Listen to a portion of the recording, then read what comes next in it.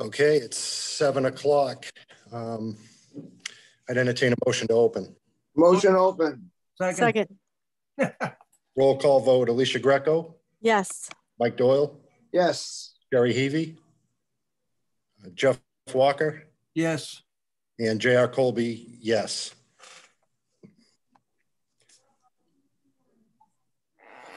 Staff, when I call your name, please respond in the affirmative. Tracy Blaze, Town Administrator. Yes. Julie O'Brien, Executive Administrator. Yes. Martha Taylor, Planning Director. Yes. John Lucy, Chief of Police. Yes. Anticipated speakers on the agenda, please respond in the affirmative. Brian Colleran, Conservation Commission Chair. Let's see, I think he'll- he'll be joined. Brian Forget, Triton Superintendent. See, I see we, yeah, we got you now, Brian. Maureen Heffernan, Triton School Committee. Yes, I'm here. Paul Mayette, Triton School Committee. Yes, I'm here. Paul Goldner, Triton School Committee. Yes. Uh, Kyle Warren, Triton School Business Official. Yes. Good evening. This open meeting of the Newbury Select Board is being conducted virtually, consistent with Governor Baker's executive order of March 12th, 2020, in the current state of emergency in the Commonwealth due to the outbreak of the COVID-19 virus. In order to mitigate the transmission of the COVID-19 virus, we've been advised and directed by the Commonwealth to suspend public gatherings. And as such, the governor's order suspends the requirement of the open meeting law to have all meetings in a publicly accessible physical location. The order, which you can find posted on the town's website, allows public bodies to meet entirely remotely. so Access is afforded so that the public can follow along with the deliberations of the meeting. For this meeting, the Newbury Select Board is convening by Zoom meeting link is posted on the agenda on the town's website. All of the materials for this meeting, except any executive session materials, are available on the website, and we recommend the members and the public follow the agenda as posted on the website. We're now turning to the first item on the agenda. Before we do so, permit me to cover some ground rules for effective and clear conduct of our business and to ensure accurate meeting minutes. I will introduce each speaker on the agenda. After they conclude their remarks, I will go down the line of board members, inviting each by name to provide any comment, questions. Please hold until your name is called. Further, please remember to mute your phone or computer when you are not speaking. Please remember to speak clearly and in a way that helps generate accurate minutes. For any response, please wait until the chair yields the floor to you and be sure to state your name before speaking. Members wish to engage in dialogue with other members, please do through, do so through the chair, taking care to identify yourself. The Chairperson or vice chairperson will afford the public comment for a period of three minutes and it will be granted as follows. Participation will be sought through the raise hand function.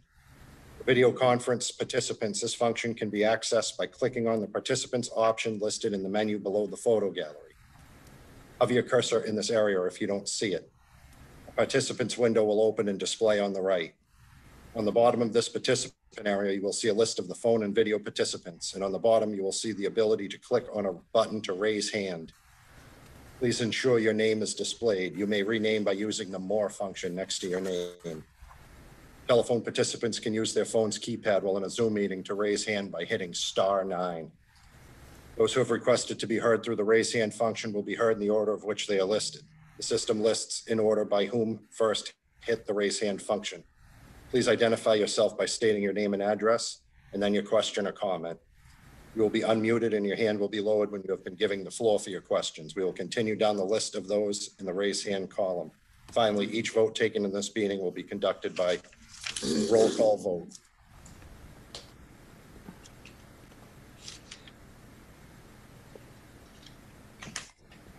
Okay, uh, communications from citizens. Do we have any raised hands, Tracy?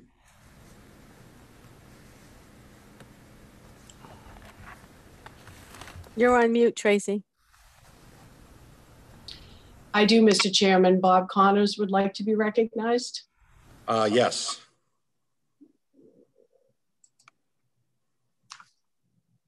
Uh, uh, Good evening, Mr. Chairman, members of the Select Board. My name is Bob Connors of 39 Annapolis Way, Newbury.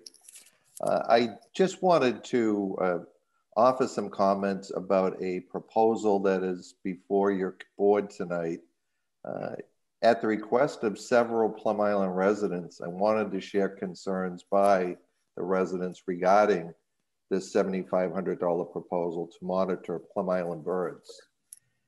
In the past, several property owners have complained about trespass onto private property, erecting symbolic fencing and signage, declaring property closed without seeking or granting or getting authorized written permission uh, by individual property owners, submittal of certificates of insurance, and hold harmless agreements in case whatever has been erected uh, causes injury to others. Uh, and it, has been a great concern, and, and I know several have complained uh, to the town or, or, shared their concerns, I should say. Uh, if the town goes forward with this proposal, it would seem to me that the uh, the work would be performed as an agent of the town, and I think it would would add some unnecessary liability and, and angst uh, for the town.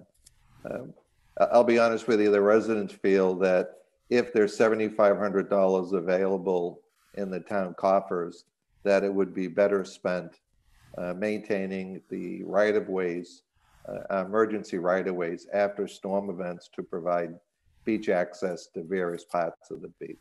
So I just wanted to share that concern.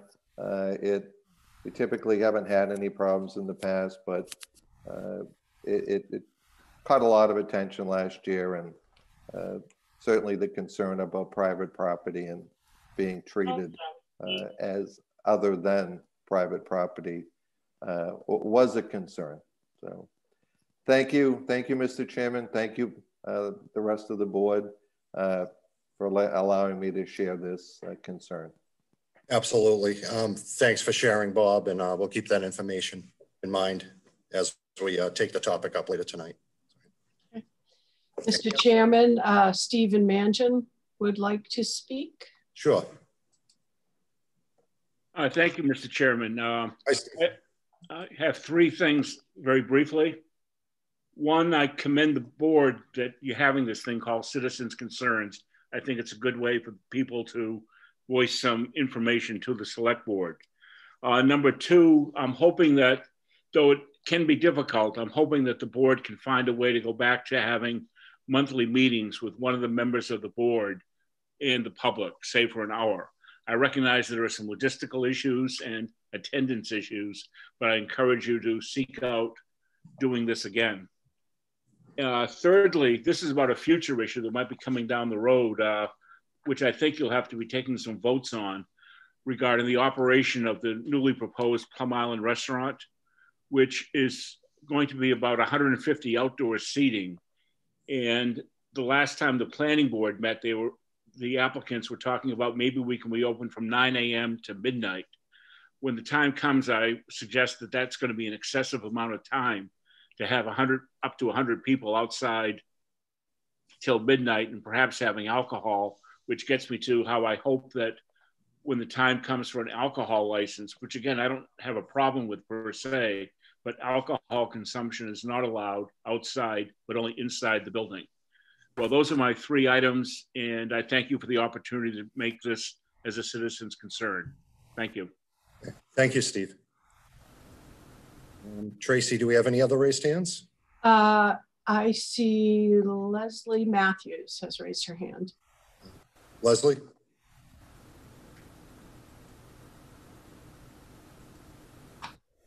I think she's on mute. She's gonna be unmuted. Hi, sorry about that. That's okay. Um, I, when uh, Chief Lucy comes up, I was wondering if he was going to update us on the the new regional group um, for our area as far as uh, ramping up the COVID vaccines and if uh, um, administrator, administrator, Blaze, administrator Blaze would bring us up to date on the um, call that was put in on Thursday with the surrounding areas uh, leaders.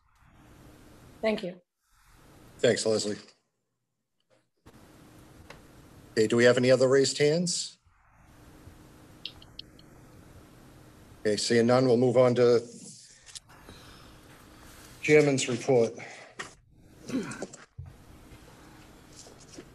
I signed the PR twenty-one eighteen for Julie O'Brien, and I also signed the PR twenty-one eighteen for the select board. And um, we're gonna have a long meeting tonight for all of your help in uh, moving the meeting along.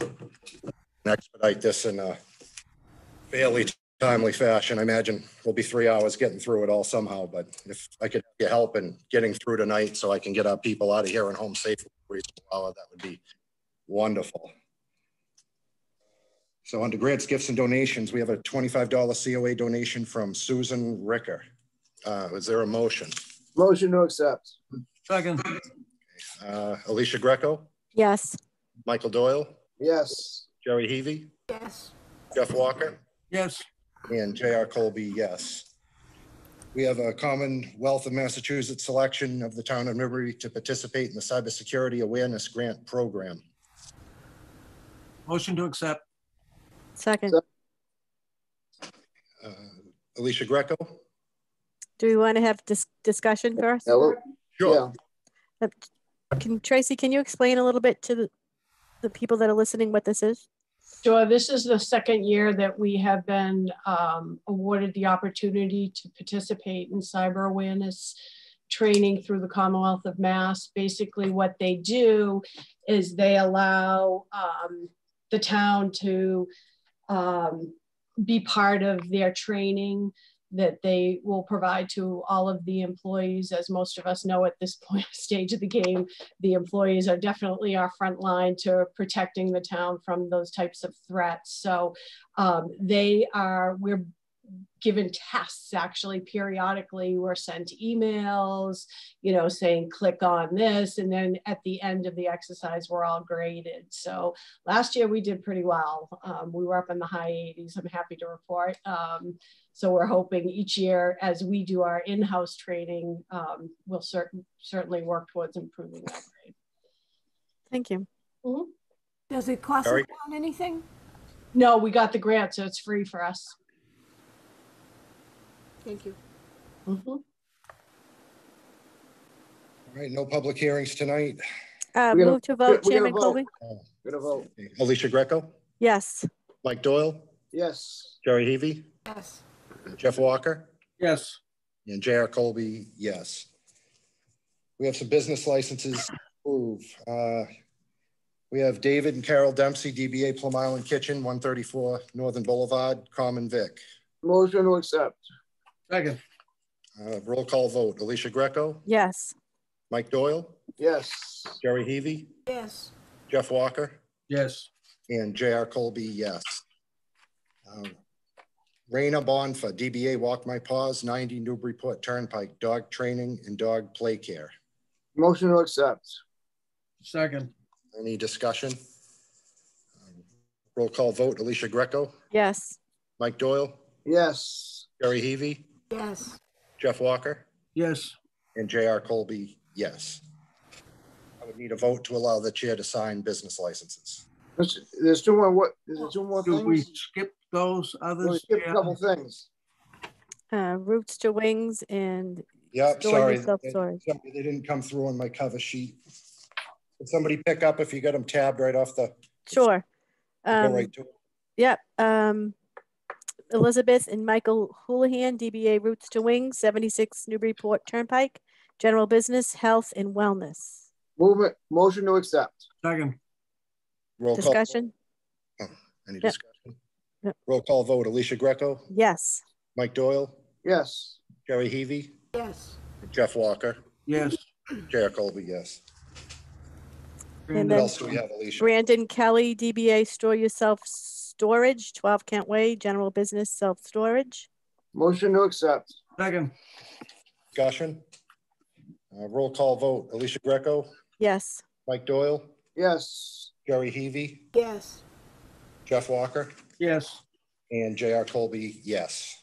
Make a motion to allow the chair to sign the licenses. Second. Uh, roll call vote, Alicia Greco, Yes.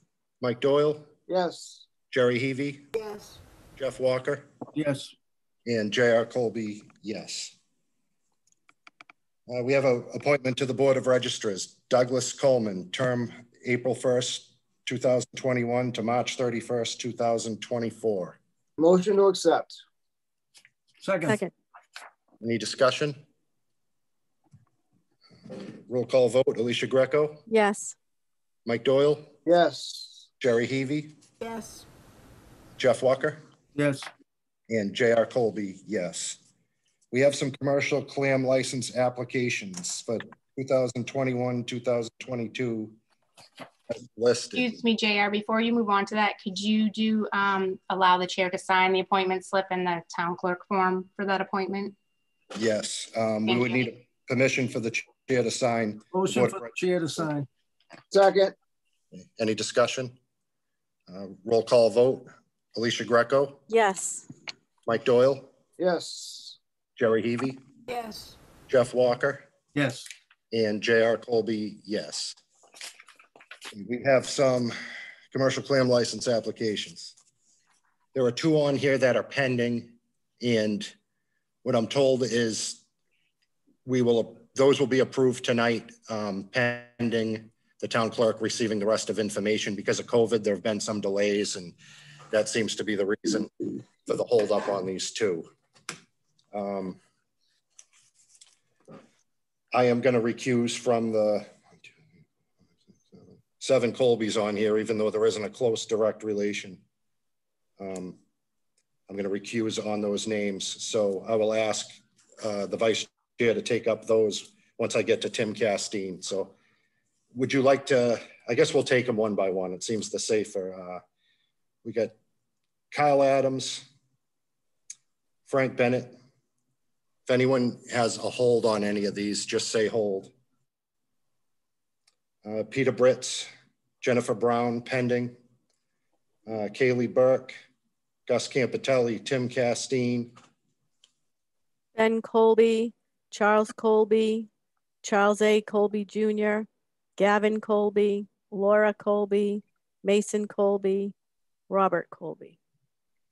And we have Neil Conley, Everett Davis Jr., Jay Dodge, Joshua Dodge, David Elwell, Doug Foley, Zach Fournier, Robert A. Fournier, Fred Hoistat, Jeff Janvrin, Cole Lojek, Neil Lojek, Ross Lojek, Alexander Maxon, Noah Merrill, Peter Moran, David Morse, Cody Nixon, Corey Nixon, Michael Nixon, William Papulius, Thomas Savage, John Short, William J. Short, John Thistlewood III, Peter Thistlewood, Jeffrey Thurlow, Jim Welch, Tim West, Thomas White, Jacob Wood, Stephen Wood. Um, Could I have a motion for all of these licenses that are not Colby? Motion to accept. Yeah, go ahead, go ahead, There's a second one that's pending. Which one did you? That, that was Jennifer Brown, and it, what, what I was told when I inquired about this is basically the town waiting on a, I believe, a license number, which she expects to receive, and it's just because of COVID delays, so. after She's, our- that's the only one. There's not two pending. There's just one. Yes, and also Jeff, Chairman, Jeff Janvrin, but he'll, you know, he'll have his in, he's a regular, he's always, he's there every year. So I believe these are just processing delays. It is. The, uh, the Gloucester office is closed, so it's been taking a little longer to process. And Leslie confirmed um, that the town clerk that she wouldn't process the license, the actual official license, until she had the number from the state. Thank you. Okay. Thank you. So we had a motion on all the ones I am not recusing from. And I will move to a roll call vote. Alicia Greco, Yes. Michael Doyle, Yes. Jerry Heavy, Yes. Jeff Walker, Yes, and J.R. Colby, yes. I'm going to recuse myself from the, uh, that the vice chair is about to read off. So could I have a motion to approve the uh, Colby names that I've, I've read off? Motion to approve the Colbys. second. Uh, Roll call vote. Um, Mike Doyle, Yes. Jeff Walker, Yes, Geraldine Heavy, Yes. Alicia Greco, yes. Thank you, Alicia. You're welcome. I would need a vote to allow the chair to sign the ones I haven't recused from, and I will need um, somebody to stop in and sign the others. I guess. I'll I can, I can stop in tomorrow after work if you want. Okay, that works. Okay. Okay, so let's take that separate. So I move that the chairman come, uh, uh, I move that the chairman sign the, um, the clam licenses that we just approved, I'll second read that. by him. Um, Okay, uh, roll call vote.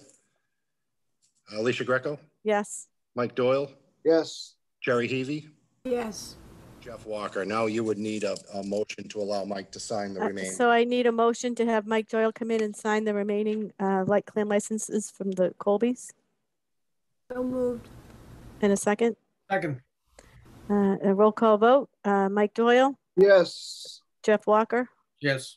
Jerry Heavy, Yes. Alicia Greco, yes. Thanks, Mike. You're welcome.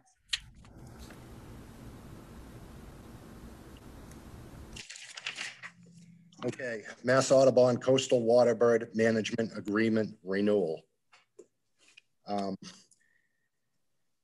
How long have we been engaging in this agreement, Tracy? Do you know off the top of your head? Yes, uh, two seasons. This would be the third season if approved. Okay. And I would be open to any discussion on this before the vote? Um, can I have a question, Mr. Chairman? Yes. Um, Tracy, has the town received, um, emails in favor and or against these? Um, I have received a couple of um, emails relative to concerns about it um, going on private property. And uh, Audubon themselves received some positive feedback about the work they were doing. So And can you explain exactly what the town is, what uh, Audubon is proposing to contract with the town? This is not for private property. It's not all of the beach, correct? Correct. Um, basically, in Exhibit A of the doc document, they provide a description of services, but it's primarily um, monitoring, um, cordoning off the areas where they find um, the birds, um, and those types of things. Education, letting property owners, beach goers know about the plovers and those types of things. I know um, in the last couple years, I've had folks reach out to me um, about it. Um, mostly residents in that area um, have awakened to find people roping off sections of their backyard, erecting signs uh, without their permission. Um, I know there's some type of appeals process. They could contact Audubon saying they wish, you know, this practice to be discontinued in their backyard um, to no avail. So this hasn't been without problems. Um, So I, I have another question, Chairman Colby.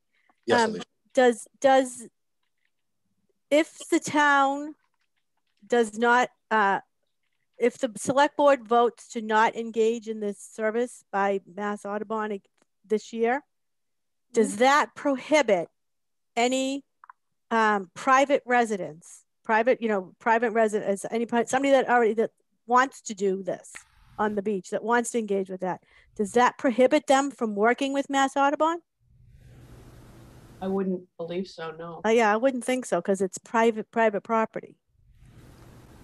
Mike? Um, they've all, they already roped off almost eighty percent of the beach from the, you know, from the reservation down. Um, it's, um, uh, my, my concern is, my concern is if, if they, if they're gonna come into the private section of the beach, I mean, it's, it's like, they've got enough. My, the only concern I have is what if a piping plover nest in front of one of somebody's, one of the, one of the dunes that's being enriched? Is that, a, I mean, it, can they block them off then, or can we just let them have the other 80% of the beach for six months of the year? That's, I'm not, I don't, I'm asking. Yeah, that, I don't know the answer to that question. Jeff? I think, um, believe it or not, I think Mike encapsulated that pretty well. I mean, plovers have the whole of the refuge and they're highly protected because they close the refuge off. Um, the amount of plovers that have been seen on Plum Island have not been that many. The cost of the project has gone up, and I think Audubon, if they had stayed up on the other side, you know, it would have been a comfortable conversation, but, you know, it would be the same as the town hiring people to walk all over your property, you know, of anyone else that owns a piece of property and erect fences. So even though there's a lot of use on the beach. So I'm not particularly for this either. Um, I think that it would be kind of, it's, it's just overkill. Jerry? Um, what, what season, um, is this impacting? Is it in the height of, uh, the summer or early spring?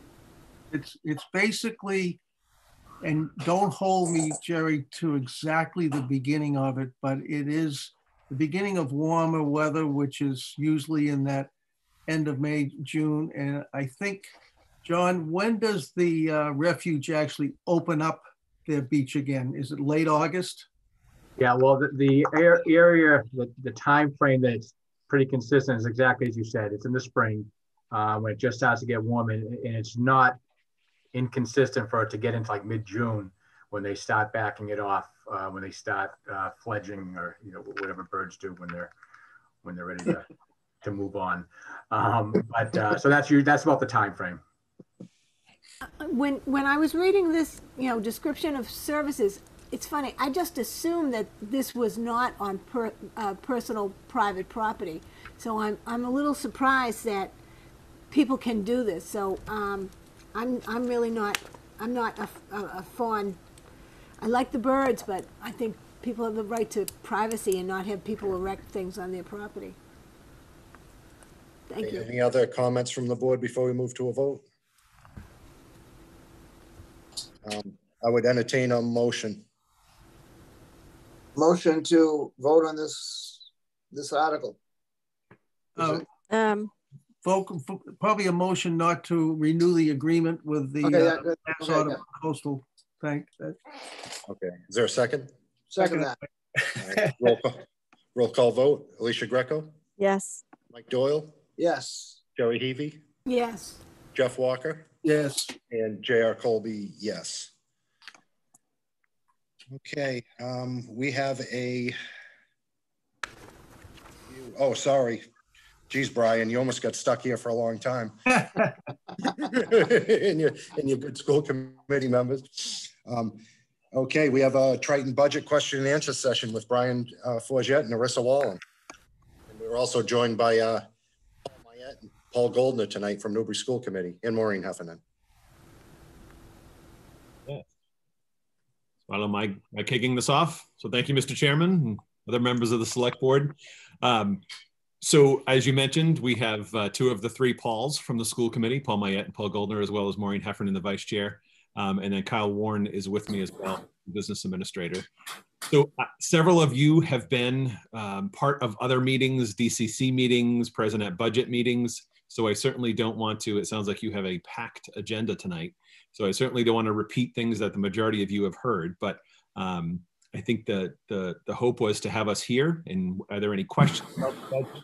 Um, I can give you the 30 second summary of the budget as a starting prime, maybe. Yeah, yeah, why don't we do that? Okay. Um, I should also say, you know, the million dollar question, everyone's talking about uh, students returning to schools. Just to confirm, Governor, uh, uh, Commissioner announced about a week ago, they vote on Friday, and uh, the Commissioner released guidance today uh, requiring that we start that shift as of April uh, 5th. So um, school committee is taking that up again tomorrow night. I'm not going to say anything, right? This is still a work in progress. Lots of discussion still to be had, uh, but we know we'll be starting that transition, at least elementary. Um, I should say elementary needs to be full in by April 5th. Um, and then uh, whether it's a transition or all at once, committee will have that discussion tomorrow night. Look to the following week, a week from tomorrow night, uh, to actually vote on a written plan um, and to have that in writing so that everyone is clear about what the vote is, uh, what the vote means, um, and then uh, take action from there. So um, that's that piece. That's obviously been what we've been doing this year, trying to figure out how to get students back. And it's obviously been challenging, like like everyone else across the state in the world. Um, so the budget for fiscal 22, next year, the 21 22 school year, um, was uh, it's obviously we finalized the current year's budget before we closed everything down. So this budget actually assumes the numbers uh, that we actually had for the fiscal 21 budget. Obviously, everything changed. We have a remote academy with close to 300 students in it, with students um, and teachers outside of school. We have increased staffing. We have savings in other areas. So this year's budget is not um, or this year's enrollment is not uh, something we could predicate a, a, spending plan on for next year. So this makes the assumption that we return to our normal staffing and student levels um, for next year. So other than um, that, this is a level services budget, which means we're taking the cost of what it uh, is to do business um, in a normal year and carrying that forward into next year. Salary, contracts, step and scale, uh, health insurance, uh, utilities. Um, there are within the, the, budget, the general fund budget, um, there are three additions. Um, there is the second of three years of funding for full day kindergarten. So we took this as a three year phased approach. $225,000 was collected annually in tuition. Kindergarten tuition was 2,950, call it $3,000. Last year, or the current, uh, last year, we, uh, the committee funded the budget, or the towns funded the budget, I should say, at 75,000. Um, added money that brought the tuition, what would have been this year, had we had a normal year, to 2,000. An additional 75,000 is included in this budget. That brings the kindergarten tuition to 1,000 for next year for families. We continue that pace, and in the fiscal 23 budget, add an additional 75,000. That's the the final increase. We then, as of September of 22, uh, will have universal free full day kindergarten. Um, we are one of a very few handful of uh, communities across the Commonwealth now that are not offering a free universal full day K.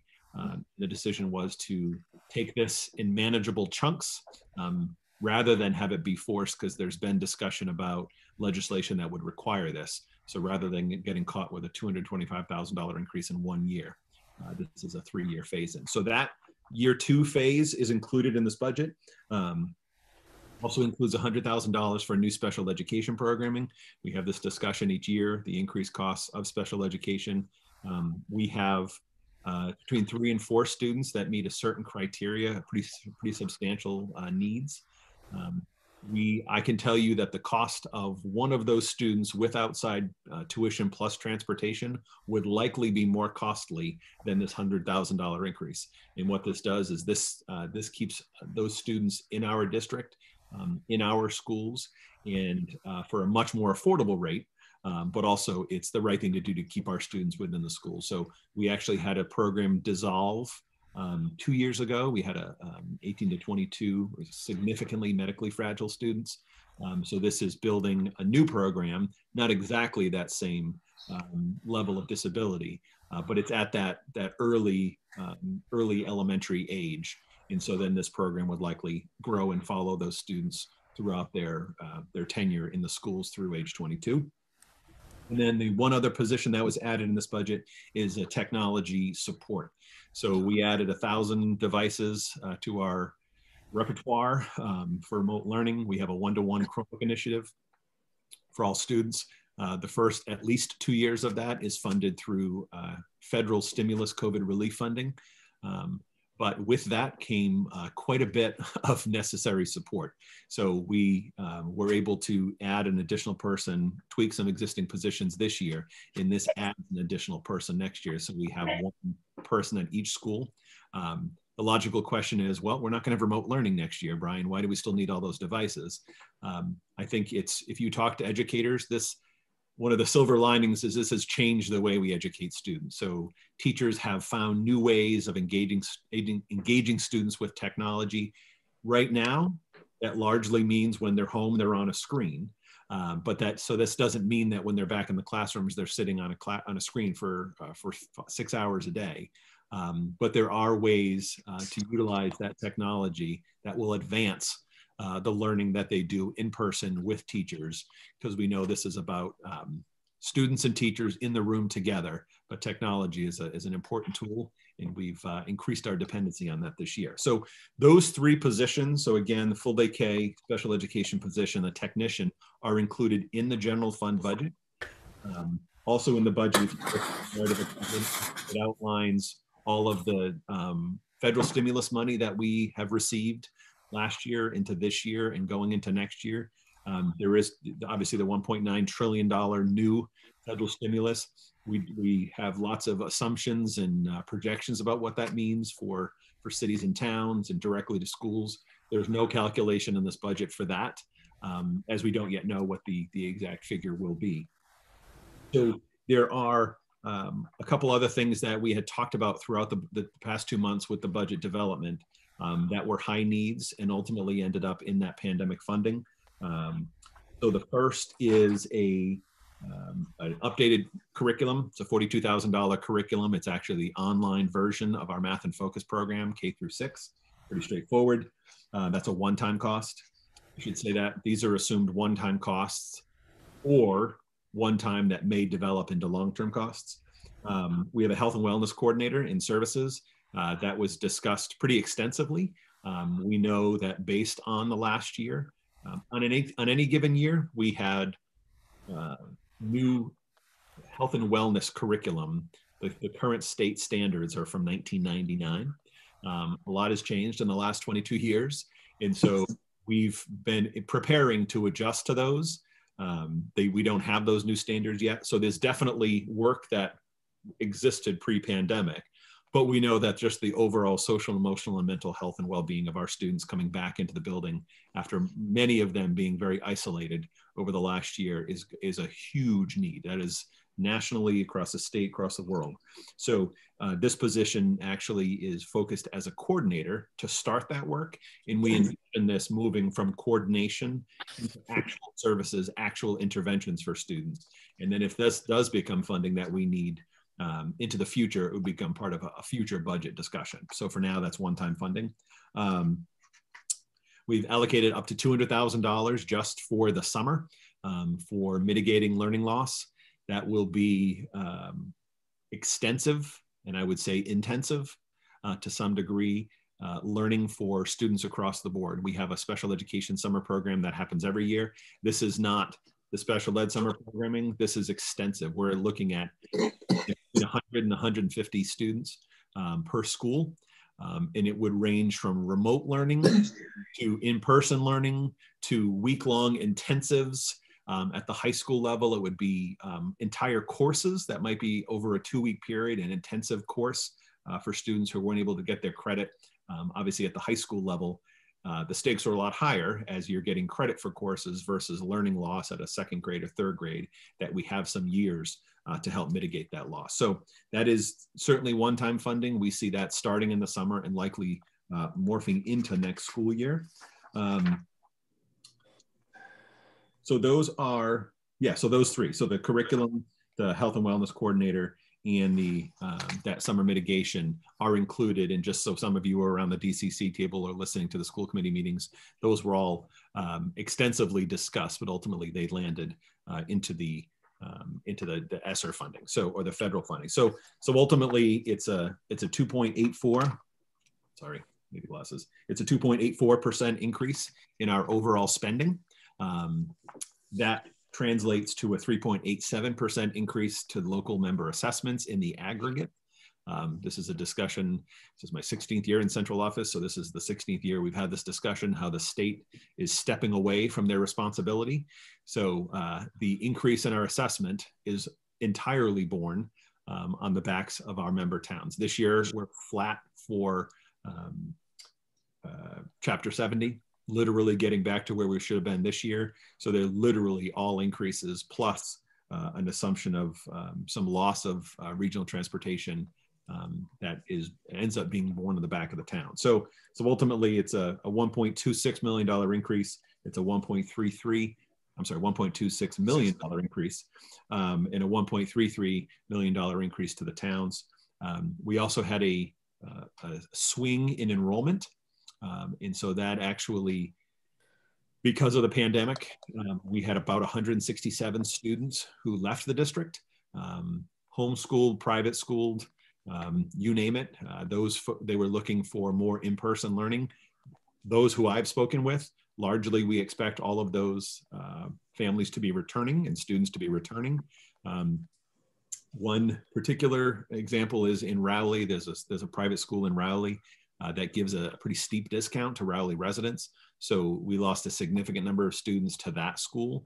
So Rowley's decrease, I would say, is falsely deflated. Um, and so where you have, uh, or what the result is, is that um, while it's a 3.8% average increase, Newbury's increase is 4.26%, Rowley's is only 1.13%, and Salisbury's is 5.81%. So um, Newbury's increase this year is $420,855. Okay, any uh, questions or comments from the board? Uh, Mike. Ryan, uh, at the finance committee, I was I was watching early before this meeting. They, they said that they're pretty sure all those people from the Clark School are going to come back to Rowley. Yep.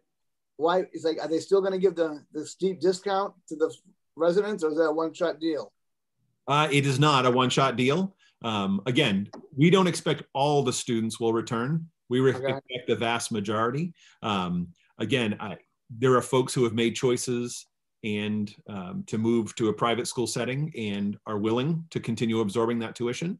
Um, I think there are some who thought they would go and may not return. I think there are those who thought they would go and may not return and cannot wait ret to return. Um, we have homeschoolers who I know um, can't wait to have their students return. Um, so yeah, so it's we don't know for a fact. This is based on assumptions, but that that hometown discount at the um, Clark and Rowley is not. How many how many students went out of Rowley? Uh, Clark. Yeah, I mean uh, to Clark specifically, I don't have that number, okay. but I believe it was 81 total out of Rowley. Wow. Yeah. 167 total. So about half the half the loss was out of, okay.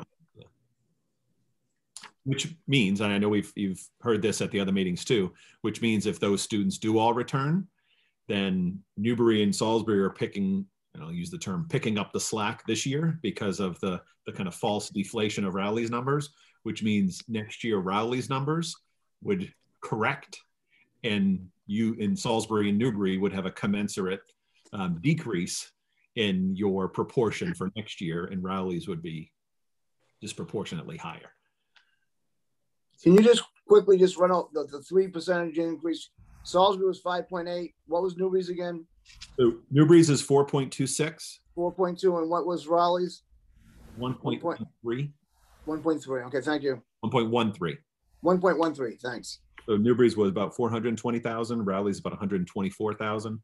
And Salisbury's is 787,000. Wow.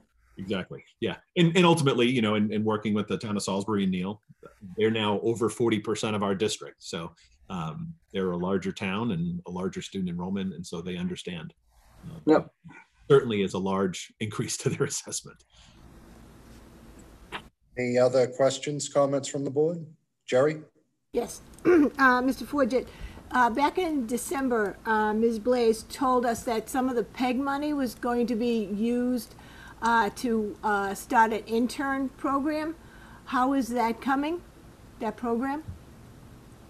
I don't have an answer to that. I know we talked about that. So it's uh, not Tracy? coming. So it's not Tracy coming? Got her hand up. Tracy? We, we are working with the district, but we don't plan to start that program probably till next fall due to COVID. Okay. Okay. And how much, how much will, do you anticipate will be needed or will be funding? Because 95,000 was what the town meeting um, voted to give to uh, your Triton. So the question is, how much would we need for the internship program? I don't have an answer for that. So that's those are the details we've been talking about. The the original request was allocated for very specific equipment for the studio, and since then we've you know had the discussion that that is not an allowable cost. Um, so I I don't know the exact answer what the internship would cost. But if it's it's paying for student and interns, it's significantly less than setting up a studio. Thank you. Any other questions? from the board? Uh, Alicia? Brian, this um, budget that you're discussing here tonight, is that's the high water mark, correct? Uh, no, this is it now. So the tentative budget on February 10th, um, I want to say Kyle would be able to tell you, but Newbury's assessment was well into the 500s. Salisbury's was just shy of a million. That was the high water mark with February 10th tentative budget. This is now the final budget. Um, okay. And I should say to you, this is the final budget as it is going to be presented tomorrow night to the school committee. So this is not voted as the final budget, but this is um, the result of what we discussed last week.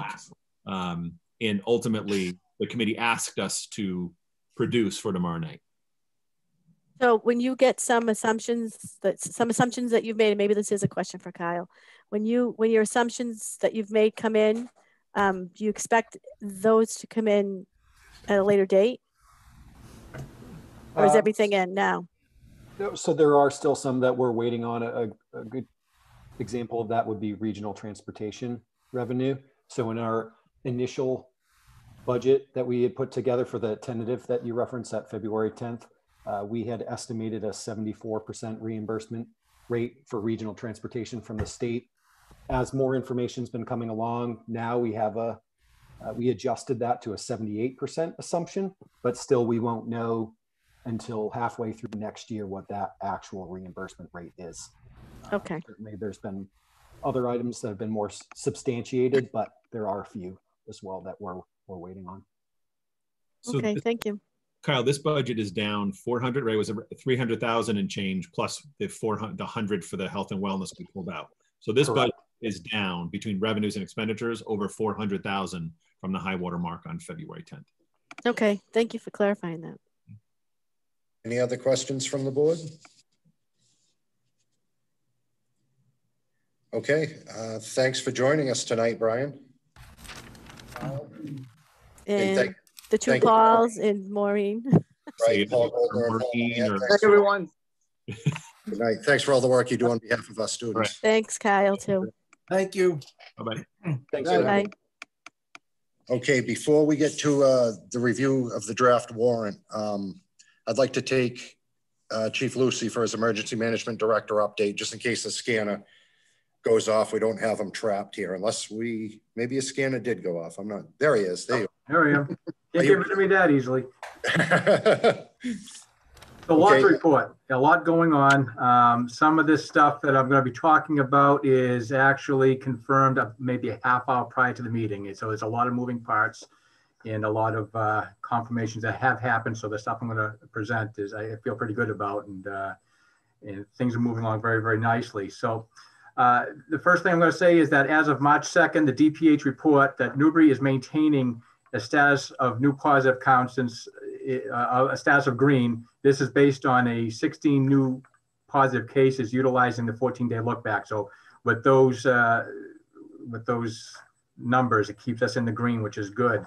Um, according to that reference DPH report, there have been uh, 1,048 tests administered since my last report to the board, and of those tests, 16 of them are new, and this is a 1.53 percent increase of my last report, but it's still a very, very low, very uh, good number to see. Um, and uh, the big news is the, the Lower Merrimack Valley Regional, Collab- Regional Collaborative has successfully facilitated a regional vaccination clinic. Uh, they've been working on this a long time. They've had it in place for a long time. What they didn't have was the vaccines. Uh, that that has been allotted to them now, and they are receiving 2,100 for the first clinic, which is going to be Saturday and Sunday from 9 a.m. to 5 p.m. Uh, that clinic is going to be held at the Amesbury High School at 5 Highland Ave in Amesbury. Um, what's very very important with this is it, it's only by appointment. And I'm going to get into that, how that works uh, in, in a minute, but I, I just really want to make that clear to everybody. It's very, very important to monitor the town's website for the most up-to-date um, link to make your appointment because they won't take anything off the street. And this clinic, it's mandated that it's open to all Massachusetts residents. So it's not exclusively to the um, to to the region uh, participating uh, communities, it has to be to all Massachusetts residents. Um, what we what we do have is the ability to generate the appointment list that's being generated through our collaborative. And once that gets posted, the state picks up on it almost immediately and it gets posted on the state website. So that's why it's imperative to monitor the town's website because we're going to put it there quickly as soon as we get it. And if our residents, uh, you know, that are seeking the vaccine, just be ready to go right in because they fill up fast. Um, and the other thing too, on that, on the spirit of the filling up fast, it's expected that because this is the first clinic for the region, the first couple are going to fill up fast. It's going to be busy. And I don't want anybody to be nervous because this clinic is going to keep on going until it's no longer needed. And they're also going to up the, uh, the frequencies of the, um, the clinics. Uh, they um, they uh, plan right now tentatively to have Tuesday, Wednesday, Thursday. I believe that's still in the works, but they're going to increase the frequency of the clinics to accommodate the need and to facilitate whatever it is that's allocated to our clinic. Um, the um, the next posting of that link, and this is important too, is going to be tomorrow morning at 8 a.m. So everyone wants to monitor our website, 8 o'clock in the morning, the link is going to pop up and it's very, very prominent on the town's website. Um, and that's www.newbury, I'm sorry, townofnewbury.org. You know, I, it, it's all posted uh, with the, um, the code red that I just sent out. Uh, it's posted on our website, the links. Uh, and so you just really want to monitor that because those links are generated on a case on, on a on a clinic by clinic basis so, uh, and they will change. And then uh, there'll be another posting of a link tomorrow at noontime. So if you log in and you, and you miss the opportunity to get an appointment at eight, check it again at noontime. Um, what's the benefit for our community and the communities that are involved here is that uh, it is more likely that we, with these uh, reports and with uh, the community staying in touch with the, uh, the quickest uh, access to the information, they'll be ready to jump on the appointments before the state picks up, before the state posts. And it's very unlikely that people are going to be staring at the state's website and, and, and refreshing to get here. So we'll have, hopefully, the, uh, our our folks uh, will be will be able to get in there quick. So we just want to get it out there and it's a fine balancing act too in the sense that you don't want to hit this in social media because you don't want to go viral either you know so we're, we're just very we're streamlining it this is where you want to be this is where we want our community logging in on the town's website monitoring that link getting on it getting your appointment and and um, and, and getting it done um, but again, I just want to really stress that don't panic. Nobody panic. You know, this isn't going. This isn't a one-shot deal no pun intended. This is a, a continuing clinic until uh, our needs are met. That's how it's presented um, to me.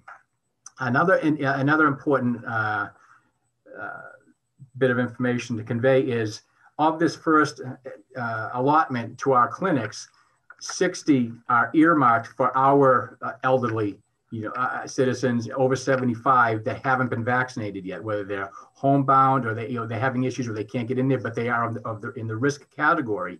And the Council on Aging with uh, Cindy Currier and her team have been aggressively out there with an outreach program to get a list going for that earmarked group. And, uh, and they've been very, very successful with that. I was just talking to her uh, prior to this meeting and, and things are going very, very well with their efforts. So a lot's been going on. A lot, a lot of good things are happening, uh, you know, to keep our folks safe. And you know, and, and the high risk seniors, the high risk populace that we have, are really going to have an opportunity just you know to get this done. And but they really have to monitor. Uh, family has to monitor for their loved ones or whatever, just to make sure that you know this first group you know can get in there with with that link.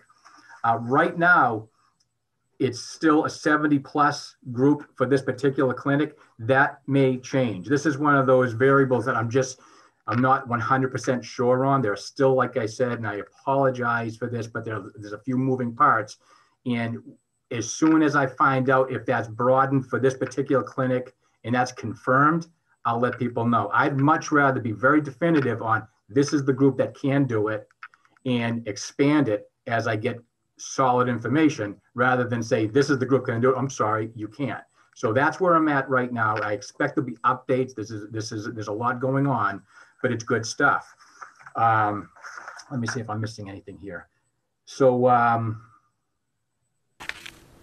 as far as where they're going to be held, the, um, there are three locations. So again, there's nine communities involved. So they, they pick areas that will be convenient on what, you know, as, as they rotate around to each community. Um, right now, as I said, this weekend, it's Amesbury High School. Um, the, the schedule hasn't been set, but in the future, it's going to be at Perley School in Georgetown, and then it'll be in the West Newbury Annex Building. Uh, the addresses for these facilities we posted, all, all, when all this gets solidified, it'll be there. So it's our, our goal is, and I've been in communication with our new IT person, um, Matt, who's been who's been really good and really helpful. He's going to be keeping the website up to date. Eight o'clock tomorrow morning, he's going to be right there changing that link so uh, people can be ready and, and, and get their appointments. So that would be my report. Pretty exciting stuff. Um, that'd be my report, Mr. Chairman. Okay, thank you, Chief Lucy. Welcome. Mr. Okay. Chairman, can I ask a question? Really Yes. quick? Um, John, I was, um, I looked on the website and it says you can, um, add to a waiting list and somebody will contact you about your appointment. Who is managing that? Who is going to be doing? that? Amesbury, Amesbury Fire Department is managing the list and managing the, the updated links. They're generating the links and updating it. Um, I am going to find out what exactly the waiting list means for you because I had that same question when I logged, when I checked it to make sure it was there. Yeah. So uh, I'm going to find out uh, and I'll let you know what that means. Okay, thank you. It might be as simple as you're on a waiting list and the next one comes, you'll, you'll be notified. But I'll find out. I'll get more specifics for you. Thank you. You're welcome. Okay, thanks, John. You're welcome. All right, we'll move on to the warrant review. Thank you, Mr. Chairman. So I put together a preliminary draft um, that we could uh, review tonight in the hopes of um, having a, an updated draft for our joint meeting with the Finance Committee on the 23rd. Most of what you see on the warrant this time is um, pretty standard with the exception of some, uh, a few bylaw amendments and changes. The, uh, excuse me, the, this, in terms of the line item budget, we'll be discussing that and going through that in its entirety next week, uh, next meeting with the FinCom. The, uh, we have received one citizen's petition uh, submitted by uh, Marshall Jesperson. It will be appearing on the warrant as the signatures have been certified by the town clerk. Uh, in the past, um, Finance Committee has not chosen to weigh in on anything unless it does have um, some kind of financial interest. So in the meeting of the 23rd, we'll also be taking the votes of the select board and the finance committee to enter into the uh, appropriations booklet.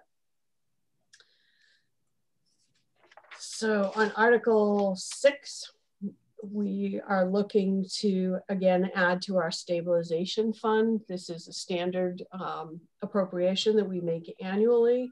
Stabilization fund is used to fund our um, asset replacement program. And uh, this article would require a two thirds vote in order for it to be approved at the um, at the um, I'm sorry, the current balance in the stabilization fund is six hundred and four thousand, six hundred and five thousand, eight hundred and four dollars. And we're looking to spend a little over hundred and sixty-eight thousand at the town meeting for our capital replacements. At the end of town meeting, should all of the articles proposed be approved, we would uh, close out the meeting with about 500, little over 500,000 in the stabilization fund. So we still have, we'd still be able to maintain adequate reserves. Article seven is seeking 100,000 to put into our OPEB account. Again, this is this is something we've been doing for quite a number of years now. I think nine or ten years. Um, last few years, we've committed 100,000 a year. Right now, the OPEB trust has a little over 538,000. We um, we updated our actuarial analysis and our our liabilities actually gone down. So right now we're looking at a liability of a little over 5.9 million. Um, normally I might ask that you consider adding money from free cash to kind of offset that in a higher amount. But given the fact that we're still looking at addressing capital needs, the town hall and the council on aging most specifically, I think once those are completed, that's when you'd probably want to look at committing larger amounts to the uh, to the liability. Article 8 um, is seeking 25,000 for our stormwater management uh, purposes. Right now, we've got a little over 98,000 in that account. The MS4 permit um, is in, in place and the stormwater management team meets periodically. Um, John O'Connell is the person sharing that. Those funds are used for um, consultants, they're used for testing kits and things like that see, Article 9 is the annual PEG access appropriation. Uh, the operation, the operational expenses total $95,000. That uh, the balance in that account right now, um, the, the PEG access revolving account is $656,627.25. Article 10 is the revolving funds, the recreation revolving funds, and the municipal uh, waterways, also known as the Harbor Master Fund. Those, are, those amounts are not increasing from previous year's budgets.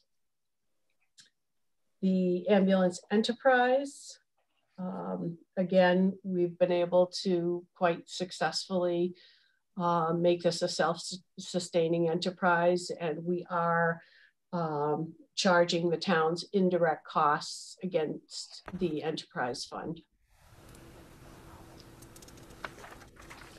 Article 12, we had two unpaid bills. What happens is at the close of the fiscal year, um, if a bill should come in beyond July 15th that uh, requires our attention, um, it has to be put on a town meeting warrant. We don't have the authority to pay a previous year's, uh, previous fiscal year's bill um, in the current fiscal year. So that's why you're seeing them appear on the warrant. And that vote does, that does require a nine tenths vote. Article 13, um, that number reflects a bond premium that we received. Um, we have in the past, I'm going to say the past two or three town meetings, we have um, taken appropriation balances as well as uh, bond premiums, and we have swept them into the uh, town hall project account. So I was making an assumption here that you would want to continue doing that. So there's that's the balance in that account. The next article um, is the overlay surplus account. There's a little over 500,000 in that account. Um, I'm proposing that you put that into the town hall project account. The one thing that I left off, um, I thought you may want to deliberate on it. Last year, we moved a million dollars from free cash into the town hall project account. This year, we've certified our free cash at a little over 3.2 million. I mean, I, I would certainly make a recommendation that you consider moving an amount. Um, you know, I'd, I'd be happy to add that on if you're interested, moving an amount from free cash into that account. If, you know, you moved up to a million and a half, we'd still have a, uh, enough of an available balance that if you move forward with a, a, town hall COA and we have to borrow a portion of it, our reserves will be adequately funded to the point that it wouldn't impact our, our bond rating. Um, and we could conceivably have a little over $3 million in that savings account for the project by the end of this town meeting, which would certainly offset uh, a portion of the project costs. Any thoughts from the board on that idea? I like it. Yeah, it certainly makes sense to me. Okay. Just, I, I just give it some more thought, that's all. Okay, I, I would be comfortable with moving a million into that account. A million? So, Mr. Chairman, I, I move that we add an article to um to transfer 1.5 million um, out of free cash to the town hall project account. Second. All right, discussion? Yeah. Gary? Um, so this, this free cash, this is the cash that is left over after we've uh, paid all our bills and our operating costs. So we've got excess money, correct? It's a little more complicated than that. It is the end of operations, so it's the results of operations. So we budget revenues as well as expenditures. So any um, line item appropriations that say the uh, DPW expense account, the snow and ice account, we had a relatively mild winter. So if we don't fully spend that amount, the balance would close out to free cash. Also on the revenue side, um, if you if you budget um, budget for interest earnings at $100,000 and we have a great year and we end up earning $150,000, that also becomes a component of free cash. Um, and there's also, we have to consider receivable balances and Right. things that But the bottom line is, the, the monies that you haven't dedicated to any particular bill or expense, right? They are not. You can't, town meeting is the only body that can appropriate it for an expense, correct? And so I guess if I were a frugal taxpayer, I'd say, well, instead of, you know, transferring a hundred and a half million uh, to um, an account, why not lower the tax bill for the taxpayers and give it back to the taxpayers? Entirely up to you. Well, I don't agree with that because, I mean, I think if our capital needs were met, um, and our OPEB liabilities were met, and, uh, the town was, um, in, um, I want to call it perfect fiscal order because we've, we're much better than we were ten years ago, but we still have a long way to go. Um, I, we still have a council on aging needs and we still have, um, a town hall. So it's six of one, half a dozen of the other. If you give it back to the taxpayer and you still need to solve the town hall and council on aging, for instance, Then you uh, issues, then you have to go for an override. So you have to either give it back and ask, or this is no uh, tax impact to the to the taxpayer. Is absolutely nothing. Um, the town still has um, capital needs, and it still has OPEB liabilities that will affect our bond rating if we don't if we don't take good care of our fiscal house. So I I don't if all of those were met and we were in good fiscal needs and we still have all this money in free cash, I'm right with you, Jerry. It belongs back to the taxpayer. But I think if we do it now, we're going to um, hurt ourselves in the long run where we have such a tremendous need still. And I, um, I hope um, most people can take comfort in knowing that um, having this amount in free cash is a result of good financial practices and also projects coming in under budget and on time instead of running over. And uh, we're, we're very, very fortunate um, to be in the financial situation we are today as opposed to five years ago and 10 years ago to be able to do this. And um, no, I I, I can see where you're coming from, Jerry. No, I mean, I, you know, I, I just, I'm, I'm playing the devil's advocate because I, I, I, people are out there. It's like, wow, they've got all this money. What, you know, why, right. why aren't we getting a refund in our taxes? So, just, Right. No, I know. And I guess my rationale is, um, is, um, you know, we could, we could give a tax break for a year or two, but it would be a time feel good. And then, you know, when We'd have to go back and town ask. hall reality sets in, we would have to be going for the full amount for an override. okay, I just wanted to explore the issue. Un- Understood. No, thank you. Um, and the other thing too is the town of Newbury has, our tax rate is set at ten dollars and ninety-nine cents per thousand. Um, if you look at our surrounding communities, just over at, uh, West Newbury and, uh, Groveland, just the, uh, Newburyport, just the ones that surround us, Mhm. Rowley, um, they're almost, uh, they're at like foot between anywhere between thirteen, a little under twelve, you know, twelve point ninety or whatever, up to over fifteen dollars in change per thousand. So if you were to pick your house up, like my house, uh, my taxes are around seventy-eight hundred dollars a year. If I was to pick my home up and put it in one of my surrounding towns, my taxes would be anywhere between fifteen and eighteen thousand dollars a year. So we Newbury is is very lucky that we have such a low. We have one of the lowest tax rates in the state. We do, we do, definitely. Compared to Newburyport, it's Mhm. amazing. I would like to just weigh in very quickly too. Um, The needs that we have for our facilities is still pretty serious.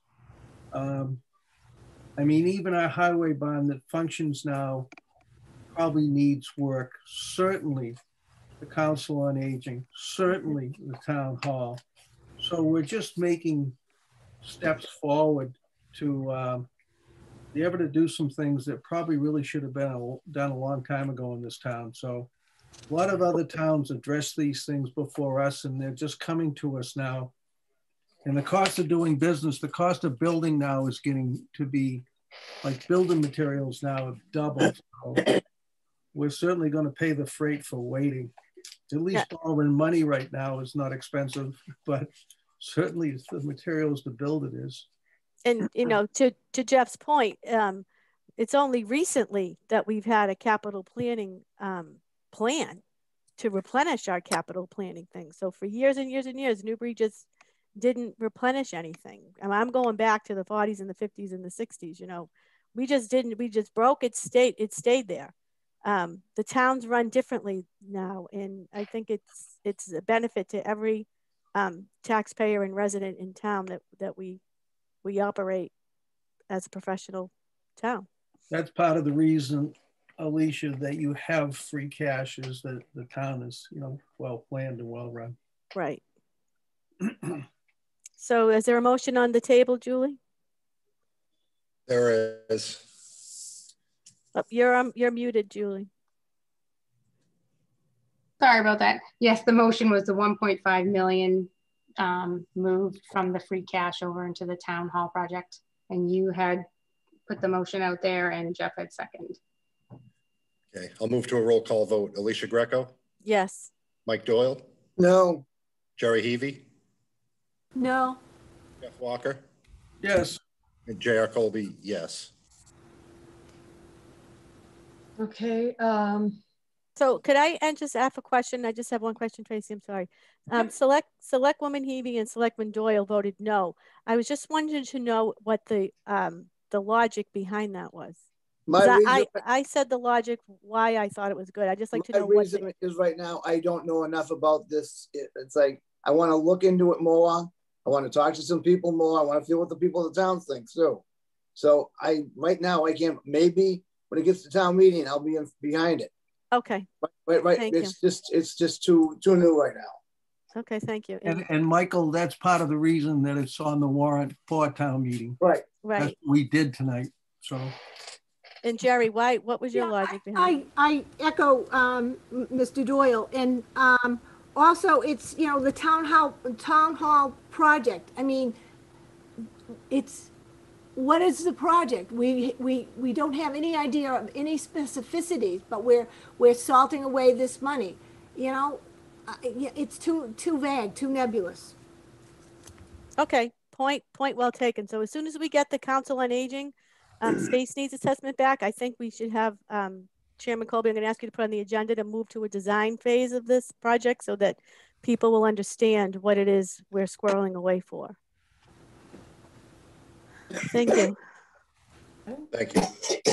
Article 15 adds another $100,000 toward the uh, Newbury roof repair project. We've already completed about 16,000 square feet of this project with the last appropriation. Um, overall, this will this will take us about from beginning to end about six years to complete it. But again, this is what we're doing with this is the same thing we're proposing doing with the town hall is trying to save money over a period of time rather than going out for a override bond issue um, that would have much more significant impact to those the tax uh, burden that you spoke about earlier. So most of the decisions that are being made here are being made with um, understanding that people enjoy the the lower tax burden here in Newbury and want to keep it that way. So Article 16 is um Ms. Tracy? Yes. What is what is the what so far how much have we spent on the school repair then? Um, I'd have to look on last year's warrant. I can't remember off the top of my head, but I can send it to you first thing tomorrow. Initially, the uh, the rubber roof repair at the school, it was going to be nearing about a million dollars, if I remember correctly, if we did it all over. Yeah. And, and we've we had it looked at and assessed, and it we were able to phase in sections of it, so it's not as crippling of a project. As we roll through the next couple years, we'll replace the sections till it's all redone. Nothing is truly failing right now. The big, you know, leaks have been temporarily taken care of, but they're going to work on the most problematic parts of the roof. And I'm just looking at last year's warrant. It was 92,700 we appropriated last year. Okay. Um, DPW is also uh, wishing to replace their John Deere Z-Trak uh, mower. It's got uh, 1,485 mile uh, hours on it, miles. Um, that mower is used four or five times a week at the uh, all well all around town, but most significantly, obviously, at Mantor Field. Um, this I, I want to say they use it for about 26 weeks out of the out of the year. Um, both of those I should have mentioned, actually all three of these articles, 15, 16, and 17, have been before the capital planning committee and were approved. In addition, all three of those articles will require a two thirds vote. And the, the final capital replacement is seeking $54,625 um, to purchase a new dump truck the one that's being replaced has over 118,000 miles on it. Um, normally we have about an eight year lifespan on those. This one is 10 years old. We do, if it, you know, if the vehicle remains in good shape and we can extend it, we do um, until the point where the repairs start to get too costly. Um, and then we move it forward in the asset replacement program. Um, Article 95 is uh, coming to us from the Conservation Commission, changes to the wetlands bylaw. And uh, Mr. Chairman, uh, Chairman Brian Colleran is here for the Conservation Commission. Yes. Um, okay. To give you a little update. Okay. There you go. Hiya, Brian. Hi. How you guys doing? You're having a great meeting just like we are. Yeah. Um, Everything's easy. Um, yeah, so um, have some Zoom.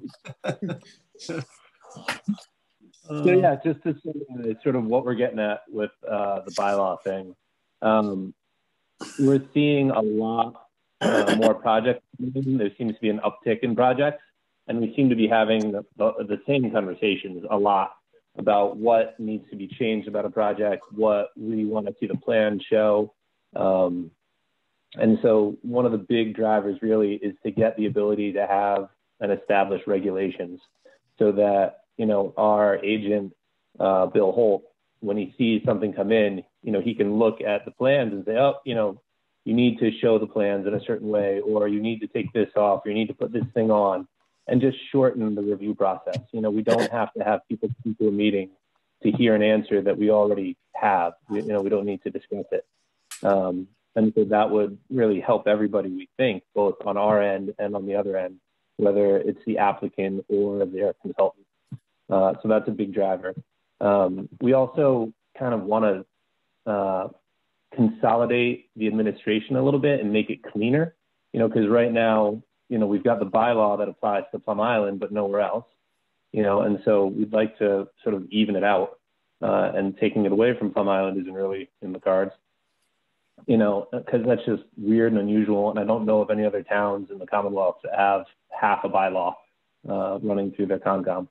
Um, the uh, the other thing is that you know we're working on a state law that we don't really have any influence over, and so if we set up the bylaw, we can actually address some of these stranger situations that come up when, like at the moment, we're working through a project that the state law that we're administering basically doesn't give us any answers. We have no, um, you know, we're guessing in a, in a, in a very legalistic way. We're basically guessing how to handle a certain project.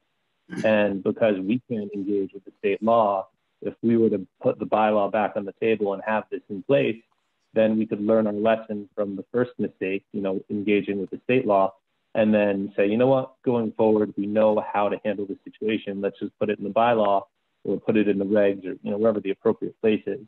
And so then we don't have to learn the same lesson twice, especially considering that you know people turn over, and you know in five years and ten years, if uh, the same thing happens, they don't need to you know figure it out. It's written down. Um, the other thing that's nice about this um, is that right now, if um, any decision is appealed, it goes to the DEP. Uh, and if we put the bylaw in place, our decisions, if they get appealed, it actually ends up going uh, to the Superior Court. And so, what's actually what's nice about that, in a manner of speaking, is that nobody wants to go to court. Uh, and so, it encourages both the commission as well as the applicants to, you know, negotiate further and to to work longer than maybe might have happened if the you know the applicant said, you know what, DEP is going to do this, we'll go to DEP. Um, it just sort of it, it increases that sort of local influence and local input that right now we don't have because we can't engage with DEP. Once it goes to DEP, we're out. You know, it's their project. Um, we don't even monitor it, right? It's their project. Um, the what else? I've got my list here that I'm going through. Um, yeah, and so the other two pieces of this um, that we've got in mind are that, you know, most of the neighborhood has a wetlands bylaw. And so that means that then we're sort of low hanging fruit for bad developments, in a manner of speaking. If somebody wants to come in and try to sneak something through, we're the people to do it to, in a manner of speaking. Um, so that you know, makes us nervous once in a while because we have seen a couple of projects come through that needed a little bit more handholding. And if we had some legs on the books that said, you know, the plan has to be X, you know, the status of um, your engineering has to be Y. You know, you, you've got to have your, um, you know, your specs up to point Z, you know, whatever we're talking about. It just makes it easier for us to, to see a bad project coming early and adjust it, you know, ahead of time. Uh, and then if this is of interest, the other thing too is that it gives us more uh, influence and control over permitting fees. And so if a big project came through, you know, instead of the hundred dollars that DEP charges, you know, we could play with the uh, fee structure a little bit, and that would arguably um, offset some of the costs that uh, you know having Bill Holt in the conservation office, you know, that those impose in the town, you know. That's not something that is uh, on the table. We're not looking at that. You know, that's not really what we're talking about, but it is something to bring up and, you know, let you know about. So, you know, that's the, the short version. Okay. Um, any questions or comments from the board? Ryan, we, we deflect through to the state wetlands bylaw now, mostly. How does that work? Yeah. Um, that's a big question. Can you, can you narrow it down for me a little? Well, you know, my concern always is because we're so coastal, you know, and, and I have great respect for our coastal regions, but sometimes they seem to arb- arbitrarily be demarcated by FEMA maps and, you know, all the other components that go along with it. So, you know, I I haven't really looked enough at this. I want to make sure that we're not making, certainly we need not to have development come into our town that isn't good development. But we also don't want to make it so that some of our residents that are here can't maybe fix or do some of the things that they need to do to be able to maintain their homes. So. Oh yeah, uh, no, we're not going down that at all. I haven't, like I said, Yeah. I haven't really dissected this and you guys have always been fair, but that would be obviously the criticism, you know, that would be coming if, if it really got to that stage. So that's kind of my, Yeah, yeah. my third, my third, my third railness, you know, to you, to you guys. Yeah, totally. I know exactly what you mean. You know, the nothing changes the property rights issue, right? Like we're not going down any of those paths. You know, the the way that I always talk about um, being on the Concom is that we're helping you to protect the thing that you want to protect anyway. You know, when people talk about, you know, living on Plum Island and loving the island and they would never do anything to hurt the island, right? they don't know that you know having um, a structure that's a foot off the ground is bad, but having a structure two and a half feet off the ground is good, right? Because of the dune grass and the way the sand moves, and you know we're just filling in people's knowledge so that they can make a decision that they want to make anyway. Um, so we're not crossing into any of that stuff where we're making things harder for people necessarily, especially from the um, the redevelopment end of things, right? Um, arguably, if something's going to be made harder, it would be a new development that's coming in that is trying to, you know, how how should you frame it? They're they're trying to skip things in a manner of speaking. Like for instance, right now, um, the way the bylaw that we've got on the table is written up, we're covering now vernal pools, right? And a vernal pool is essentially like a frog and salamander nursery you know, if you like the sound of peepers in the spring, then you like vernal pools. And vernal pools aren't protected at all by the state law and only acquire coverage for protection through a local bylaw. And so, you know, things like that were sort of in, you know, the current standing in the current moment. If somebody came in and wanted to like pave over a vernal pool, they could. Like it's there's nothing saying they couldn't from the conservation commission and the and the state wetlands law perspective. Um, so like that would make development harder. Absolutely. You know, if they wanted to get in and do that kind of thing, um, or or uh, an isolated wetland, uh, it's the same situation. Um, we did add some coverage for isolated wetlands that aren't connected to a river or um, a water body, or you know, they're kind of out in the woods on their own.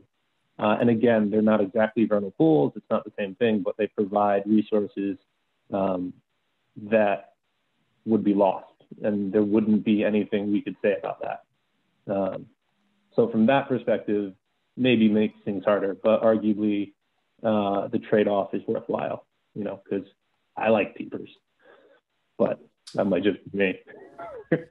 No, you're not, you're not alone. Hey, Jerry, I know you've been waiting. Um, uh, I don't know if you can answer this, but, um, is this, um, bylaw similar to the bylaw that they're proposing, um, in Newburyport for, um, the Plum Island portion? Do you know how the, the, the two would interface? Yeah, so we're not touching what's out on the island. This is uh, only going to be an inland edition because um, the way that the, the, bylaw for the island is set up, you know, that was um, a legal requirement. And so we just, this is more of an amendment to a standing bylaw rather than something, you know, new. Uh, and so we did not touch Plum Island. We're not going to engage with that because, you know, in a manner of speaking, first things first. Uh, and then in terms of um, how the one bylaw in one town interacts with another bylaw in another town, uh, in a manner of speaking, they don't, you know, because their bylaw would be administered through their CONCOM and this bylaw would be administered through our CONCOM.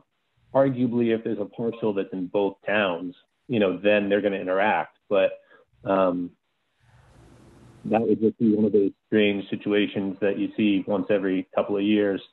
Uh, and it would be so site specific that I don't know that the generality uh, would apply. Okay. Uh, did I hear you correctly? You're saying that this doesn't apply to Plum Island? No, no. Uh, the, the, the bylaw for Plum Island exists already. Oh, okay.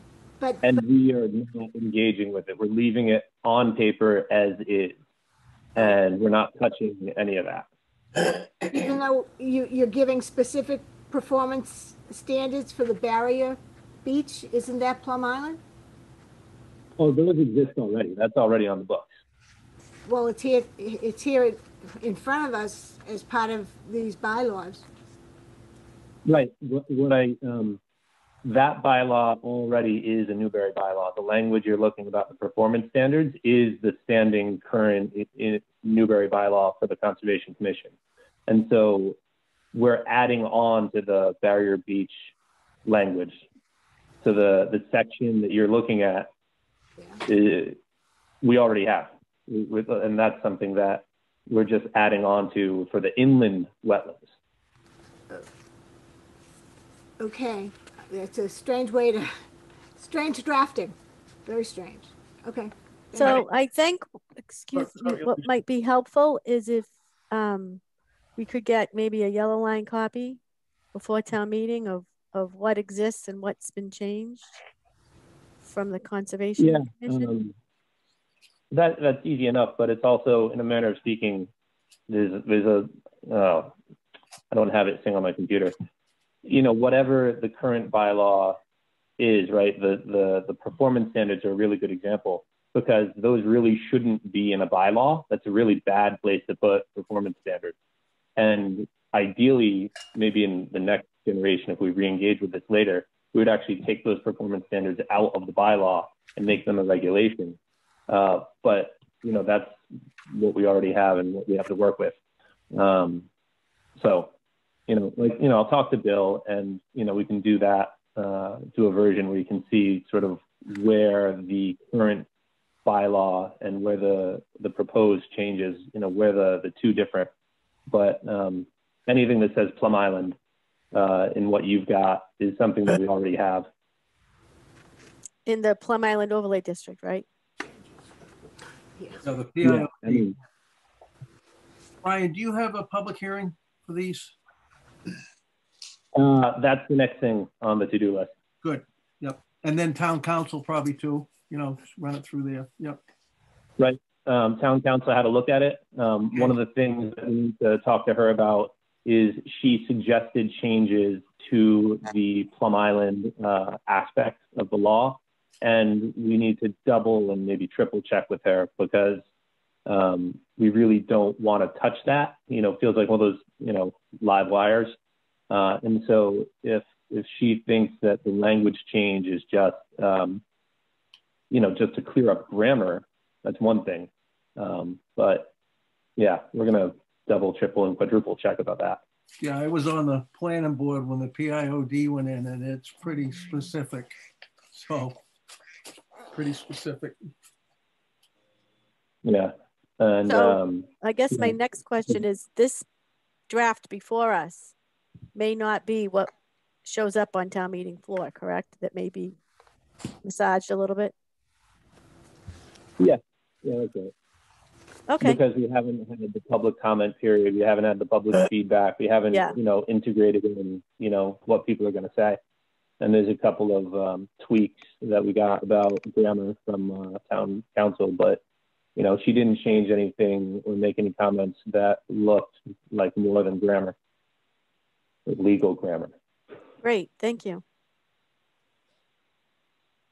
I have a, uh, a couple questions. Um, this bylaw change, um, first of all, I want to you and your board. I know when you get digging into the bylaws and changing things around, there's lots of back and forth on your board. There's lots of back and forth with counsel and, you know, public hearing coming up. Um, and thank you for, you know, looking into these things and trying to bring the town up to date in practices. Um, I have two questions.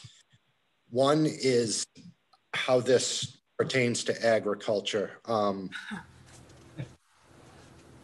in laying fields fallow, giving fields a break. Um, what I wouldn't want is farm operations to be afraid to give a field a break. You know, I mean, to be afraid to leave it fallow for two years or three years, maybe even up to five years to let the soil biology recover. You know, get get some amendments into it. You know, whether it be my, by nature or manure. Um, I wouldn't want to get into a situation where uh, lands are being overworked for fear of it being taken away. I don't know if you could offer any insight into that. Yeah. So, um, in a manner of speaking, we didn't touch the agricultural end of things with this bylaw.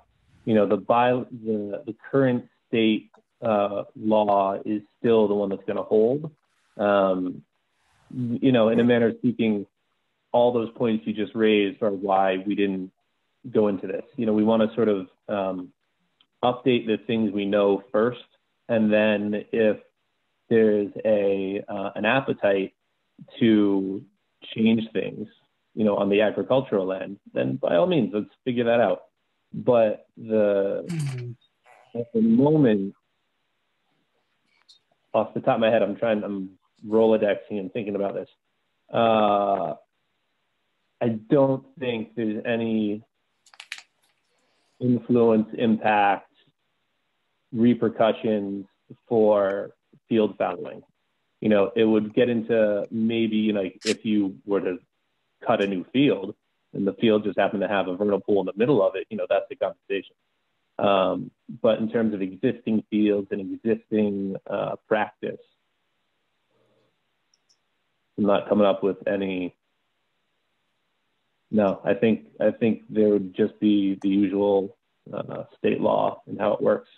And you know, the point being made earlier was that if you do want to have greater influence over how uh, the wetlands law, in, in, you know, how it works in town, then maybe we want to talk about that and add that in later, because like you know, for all the reasons I mentioned before about making it a superior court thing as opposed to going to DEP, and about having the ability to like address what you just said. Say, hey, you know, you want to let the field fallow for five years? Okay, great.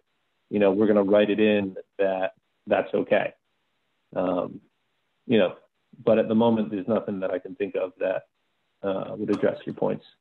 Okay. The second thing I picked up on, which which might be kind of a third rail situation, um, on inspections of property, it sounded like uh, commission members or the agent would be allowed to basically have a property without a, you know, I don't know about a proper authorization. And um, I could see where that's been problematic. People are definitely protective. And I know, and I might be wrong, but I think in prior conversations with Doug Packer, when he was our agent, you know, he said as the agent, if there was an issue, he could enter any property he wanted as long as he had his vest on, his proper things displayed. What I, I guess what I would want to avoid is people looking out their back window and, you know, maybe seeing commission members just out of curiosity cutting through public property, things like that.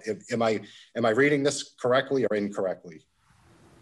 Yeah, that's one of those things that you're right. It's a little third railing. Um, from a legal perspective, you need to put that stuff in because if you don't put it in, then like the opposite is worse in a manner of speaking. But um, I don't know anybody on any Concom, any agent in the Commonwealth, right, that doesn't exhaust all of their good manners first, right? And then if they're right. going to uh, consider like trespassing, right, you know, they write a letter, they, you know, send the letter three different times, you know, they, they call the cops and they say, hey, you know, help me out here. What's the story? You know, then you go knock on the door, right? Like they exhaust all their options before they just go for, you know, random traipse through people's yards. Um, but if you don't have that particular language as framed in there, then you can't go at all in a manner of speaking. So this would be a situation if somebody refused to respond, basically. It would be a last resort. Oh yeah. I mean, let's be honest. You know, it's it's re- it's regulatory issues for wetlands. You know, we're not picking fights. Not like that. Right. I just want to dispel any of these, you know, and I, I know we're all picking things up and I just, it's good to have this conversation and dispel some of it before town meeting. So, all right, that, oh, those, oh, yeah. are, those are my two questions. And again, thanks for undertaking this and, you know, you and your, your board, it's, it's a ton of work. And I mean, I've, I've been looking at some of your meetings and they're, they're even longer than ours a lot of the time. So it's, you're doing good work over there and it's not unappreciated. Oh, yeah. This, this one that I need to go back to, it's, anyway, whatever. Um, so yeah, what else you got? Come on, give me a hard one. Anybody? No, you might have exhausted us for tonight. Ah, well, fine. Right, I think we, I think we all have to look at it a little more too. So yeah, we'll we'll yeah, reach out and, if we have any questions. Yeah. Yeah, just the one piece of advice is don't read it after it gets dark out. Yeah. You're gonna. All right. Thanks. All right. Thanks. Thank Have you, a good Brian. night. Yeah. Good night. Good night. Thank you. Okay, keep us rolling, Tracy. Okay, um, the next article is cha proposed changes to the selectmen administrative form of hmm. government for the town of Newbury. That is the um, chapter 460 of the Acts of 2008. Um, uh, one of the changes that's being proposed is changing the title Board of Selectmen or Selectmen to the Select Board as we've done with um, all of our bylaws. The second and third changes, changes to chapter, um, I'm sorry, chapter 13 change. Uh, Martha's title has been changed to planning director. Um, so we, I would propose changing town planner to planning director. And then section 15 and section 16 are relative to how the annual operating budget um, cycle works. And to my knowledge, neither of these have ever been adhered to since this act was put in place. I know it hasn't um, in at least the last 12 years, um, but I don't think it ever was. Because of the way our regional school district works and their budget cycle, there really is no way to have this document completed on the timelines that were set forth in the act. I think, um, if I'm not mistaken, uh, town counsel at the time, Tony Penske, wrote it.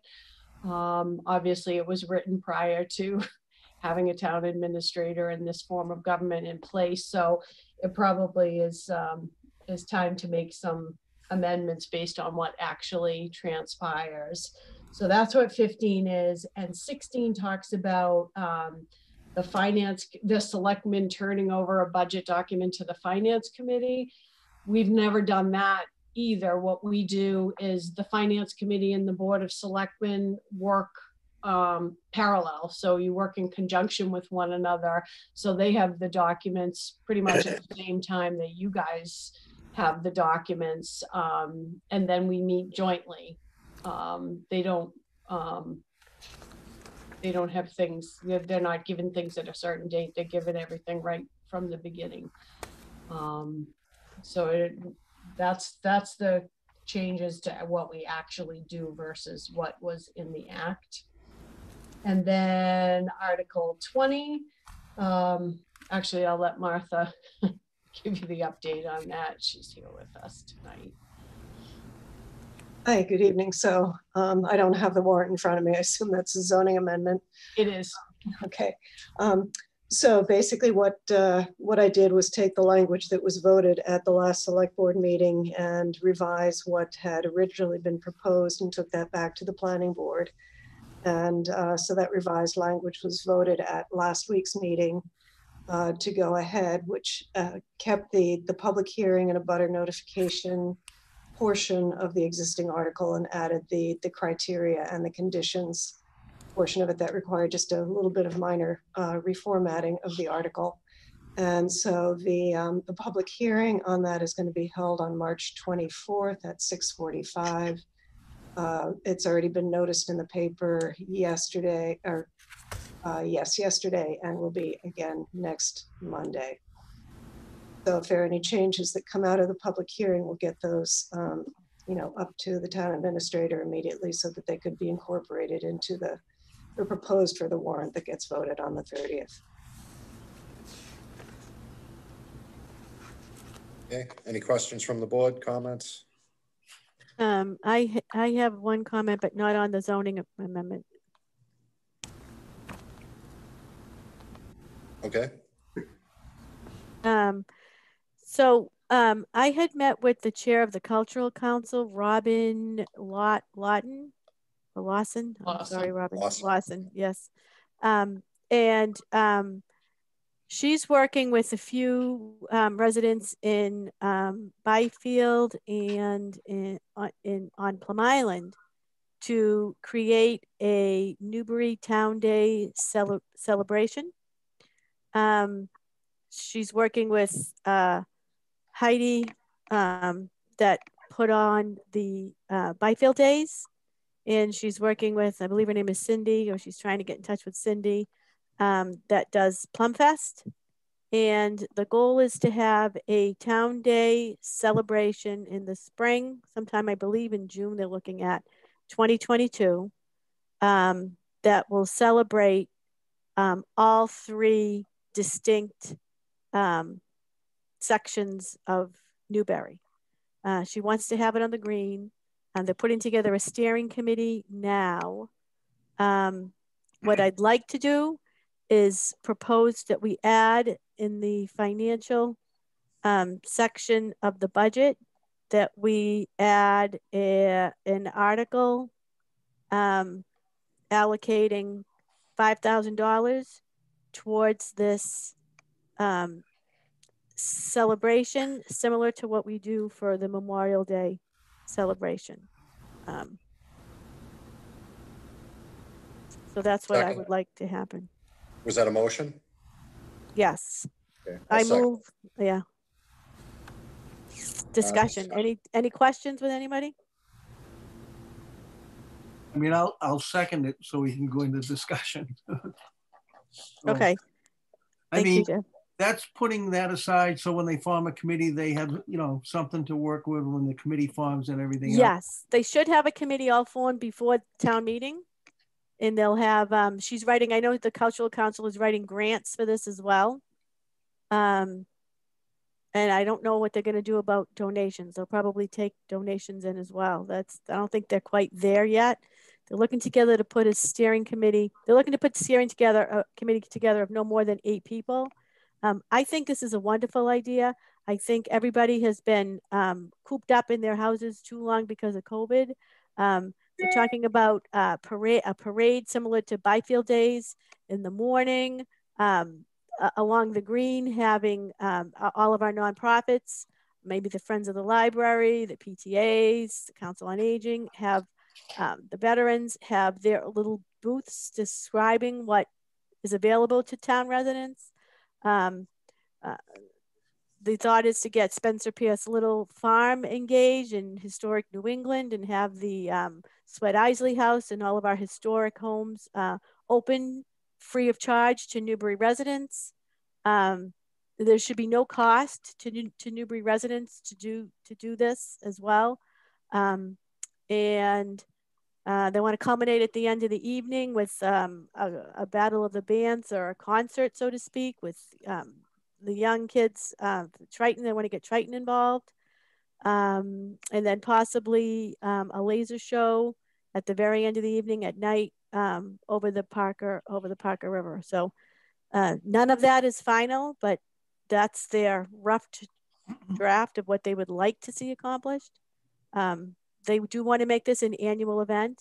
Um, the town that I grew up in, Winchester, had a similar um, town day, and it was very, very well um, attended. It's been going on since the uh, it started in the mid 70s. It was um, for a couple years, and then it went away. It came back in 1982, and it's been going strong ev ever since.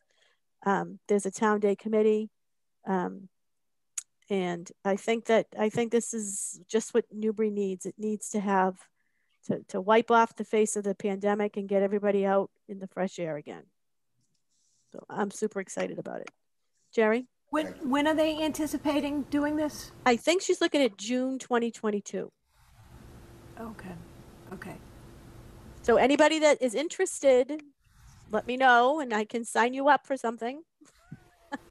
um, what, um, just if anyone asks, what would be the accounting for something like that? I'll ask Tracy, have Tracy answer that. That's what I meant. I am asking Tracy. Hi, Tracy. yeah. Um, well, if you're proposing we put it as a special article, I would assume you would make an appropriation from free cash, and I'd just have to um, do a little research on the laws to understand what it can and cannot be yep. expended for. Okay, we have a motion. Is there any other questions or comments? Yes. Jeff? Yes. Uh, I'm sorry, you broke up. You you called on me, Mr. Yes. Chairman? Okay. Yeah, go go ahead. Yeah. Thank you. Um, Tracy, one of the the areas that you skipped over was Article One, and that pertains to our voting, um, our municipal voting um, election day. Uh, oh, just, hang, just hang so on a, hang on a second, Jerry. We have a we have a motion. Alicia had a motion on the floor. Okay. All right. Okay, I'll move to a roll call vote on Alicia's motion. Uh, Alicia Greco. Yes. Mike Doyle. Yes. Jerry Heavey. Yes. Jeff Walker. Yes. And J.R. Colby, yes. Okay, go ahead, Jerry. Okay. Thank you, everyone. Um, just in the spirit of, um, you know, uh, notification and um, um, educating the voters because there's a lot of changes and confusion. Um, uh, Tuesday, May 11th, 2021 is our municipal election and the polls, uh, it looks like they're going to be open according to this Article 1 from 7 in the morning to 8 in the evening. Um, and that's a return to our usual hours because the last municipal election, they were only open from noon to 6. So that's, that's I'm happy to see that. Um, also, um, the um, there is um, legislation on Beacon Hill uh, that uh, the uh, the uh, Senate it's going into the Senate uh, this coming week, and uh, it's anticipated that the governor will sign it next week, and it's um, to extend the mail-in ballots like we had at the last municipal election to go to June 30th, so that would cover our uh, municipal election. And that's when people requested a ballot, um, and, um, you know, they don't have to have a reason, uh, and that's because of COVID. Uh, because as we heard from Chief Lucy, we still haven't established our vaccination. So a lot of people are uncomfortable to go to uh, to vote. So this allows them to request a ballot and vote by mail. Uh, and also, um, uh, the Secretary of State indicates that um, the, uh, uh, uh like we had the last time, we had early voting. If somebody wanted to go to Town Hall, to the clerk's office and vote in person prior to Election Day, they could do it. And I'm advised by the Secretary of State that the Board of Selectmen has to authorize that uh, the town clerk do that. So I would uh, move to have the board authorize the town clerk to have early voting hours at convenient times prior to the election as the law allows. Uh, so that would allow us to follow the um, uh, uh, tenor of the law to uh, assist people in um, voting if they're not able to vote on May 11th, uh, if they're a, f- a first responder or a nurse who has to work out of town at a hospital. Uh, this allows them to go to town hall like they did our last election and vote in person prior to election day. So I would move that. I'll second that. Thank you. And again, it's, it's to assist people to vote. Hi, what is this? I don't, sorry, this is kind of, I wasn't aware of this and I, I- Okay. It's been, it's been all over the news. It, yeah, and it's, it's, uh, it's, the, um, the, uh, Secretary of State said that the, for the local elections, um, the Board of Selectmen, they have to, uh, authorize the town clerks to have early voting hours. So it's, it's, I move to have the board authorize the town clerk to have early voting hours at convenient times prior to the election as the law allows. So you, you said something about June or, or, or it going into June. um, yeah, th- um, that's a difference, that's a different, um, mail-in, that's the mail-in. Um, the last municipal election, we had, uh, mail-in ballots. Well, the law, right now, it ends, I, uh, at the end of this month. The law that they're talking about, uh, is to extend it to June thirtieth. So that would in fact cover the, mu- our municipal election. So our elections would get moved to the end of June. N- No, no, No, no. no, no, it just, it's the law, the law right now to request a mail-in ballot like we did at, at our last election. That COVID emergency law is slated to end at the end of this month. So the legislation that is about to be signed either this week or next week allows, um, allows it to extend to June, so any, June thirtieth, so any municipalities, if they're having an election, they can have mail-in, mail-in ballots and early, um, early, uh, voting times. so what does that do to absentee ballots? Again, it doesn't change it. You can always, you can always get an absentee ballot, but what this, what the, what the law, this doesn't even affect that because the, because the Secretary of State will, will authorize the mail-in ballots. So I'm not, I'm not, I'm not dealing with the mail-in ballots. I'm just saying we should authorize the town clerk to have early voting hours. So if anyone's not available on, on the election day, let's say they think they're available, but suddenly, uh, you know, they have to, they can't do it. Well, you know, and they, they get, they get notice like three days before the election that they've got to work all day on the election. Well, they can call the clerk's office and walk in and vote before election day. Okay, Okay? um, that was a move in a second, right? Yeah. Um, I think this is a good idea, but I'd like to hear from the town clerk. So I move that we table this to our next meeting and then we can hear from our town clerk. But I- Well, I mean, yeah. I think it's, You can't, It's, it's something that, that we, uh, as a, as a select board, we need to authorize, um, before what date? June thirtieth, well, before, before the election. which is May. Yeah. May. So we can table this to the next meeting and ask Leslie to come. Yeah, I, I to it. definitely need to take a deeper dive into this because it seems, I mean, I think it's good, but I think I want to hear from her. Yeah, but I mean, it's just what we did the last election. all due, all due respect, it's not her decision. It's, it's, it's the Oh, board who has to, has to authorize and have to request her to do it. So it's I not res- her decision, it's the board's decision. I respect the opinion of the clerk and I also respect her being all things elections in this town. I would really like to hear her feedback. Right. I, I certainly respect the clerk, but I, I think that the clerk has to respect the Secretary of State's office and has to do what, Yeah, and the Secretary of State's office may come down that we, we may not have any other alternative but to do it that way anyways, Well, right? let's, let's relax because it hasn't actually passed that it's extended yet, has it, Jerry? No, that's, that's a diff, that's the, the mail-in. I'm, yeah. That's I'm the. sorry, mail- you've confounded three talking two different things, I think. We're Talking two different Clear as things. mud. Yeah, I think they're confounding. Well, again, it's, it's, I'm, I'm attempting to, you know, iron out all the different strategies for people to, you know, invoke their right to vote. Right. No, Well, I, Actually, that- history.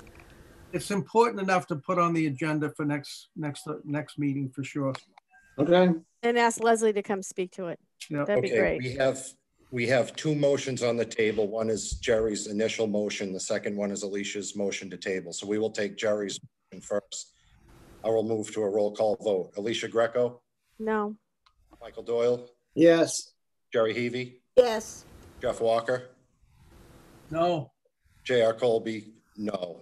Um, uh, The second motion to table it for discussion till the next meeting. Uh, Yes. are we, Mike are, Doyle, are we tabling it or just putting it on the agenda like it should be so we can Okay. make a motion?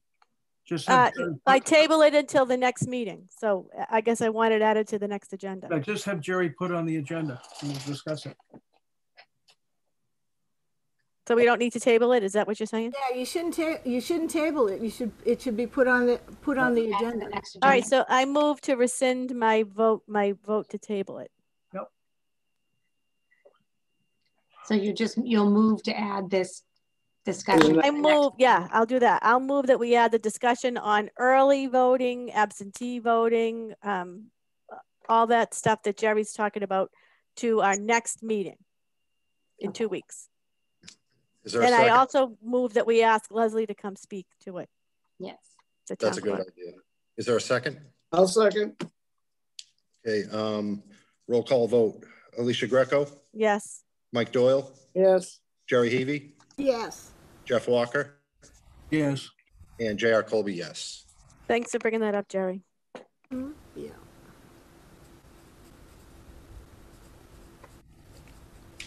Okay, does that, I can, you know, does that conclude our warrant business? Um, one more thing about the warrant. So I know I mentioned, um, I mentioned that the town, uh, the cultural council wants to, um, have this. They also would like, um, a, a- a few minutes. I told them no more than five at annual town meeting to kind of explain to the town what it is that they want to do. I wish Um, they had explained tonight. I wish they should have been, if they were on this agenda, they should have been here tonight to explain it. They weren't on the agenda though. No, they weren't on the agenda. They, well, they should have. I that can, should want me have to been- ask them to come to our, our Why next don't we have meeting? them come explain it to us before they come to town meeting? Yeah, I'll have them come. I'll ask That Robin to works come me. in the two weeks. So, um, Wanna Julie, can you put add it that on to the the agenda in agenda? two weeks? Yeah. You, Move To put it please. on the agenda. Yeah, thank you.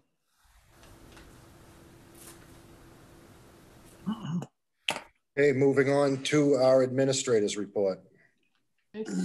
um,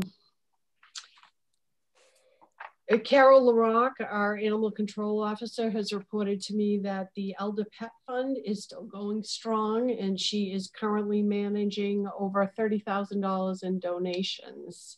wow, Um, yeah, she's done a great job with it. awesome. Uh, just wanted to reiterate town meeting schedule. On uh, March 23rd, we have our joint meeting with the Finance Committee.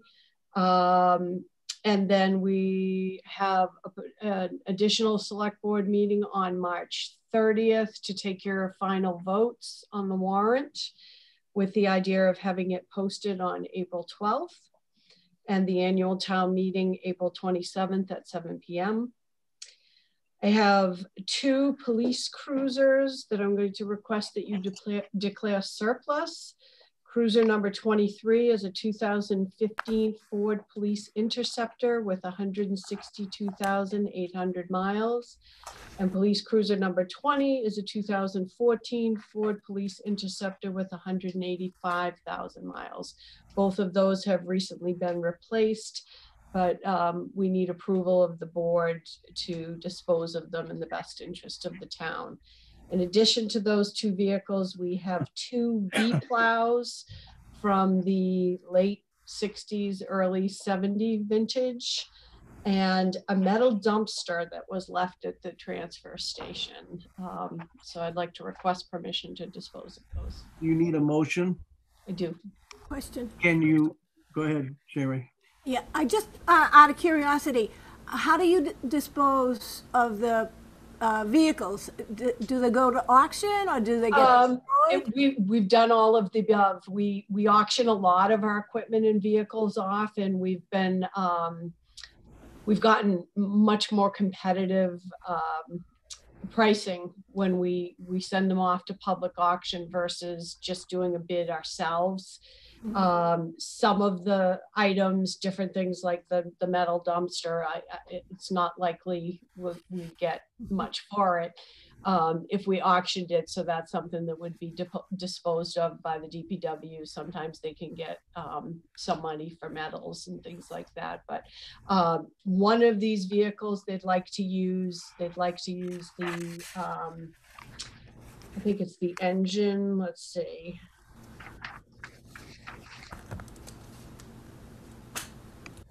Front subframe, the engine and the transmission, right. the transfer case and the front suspension.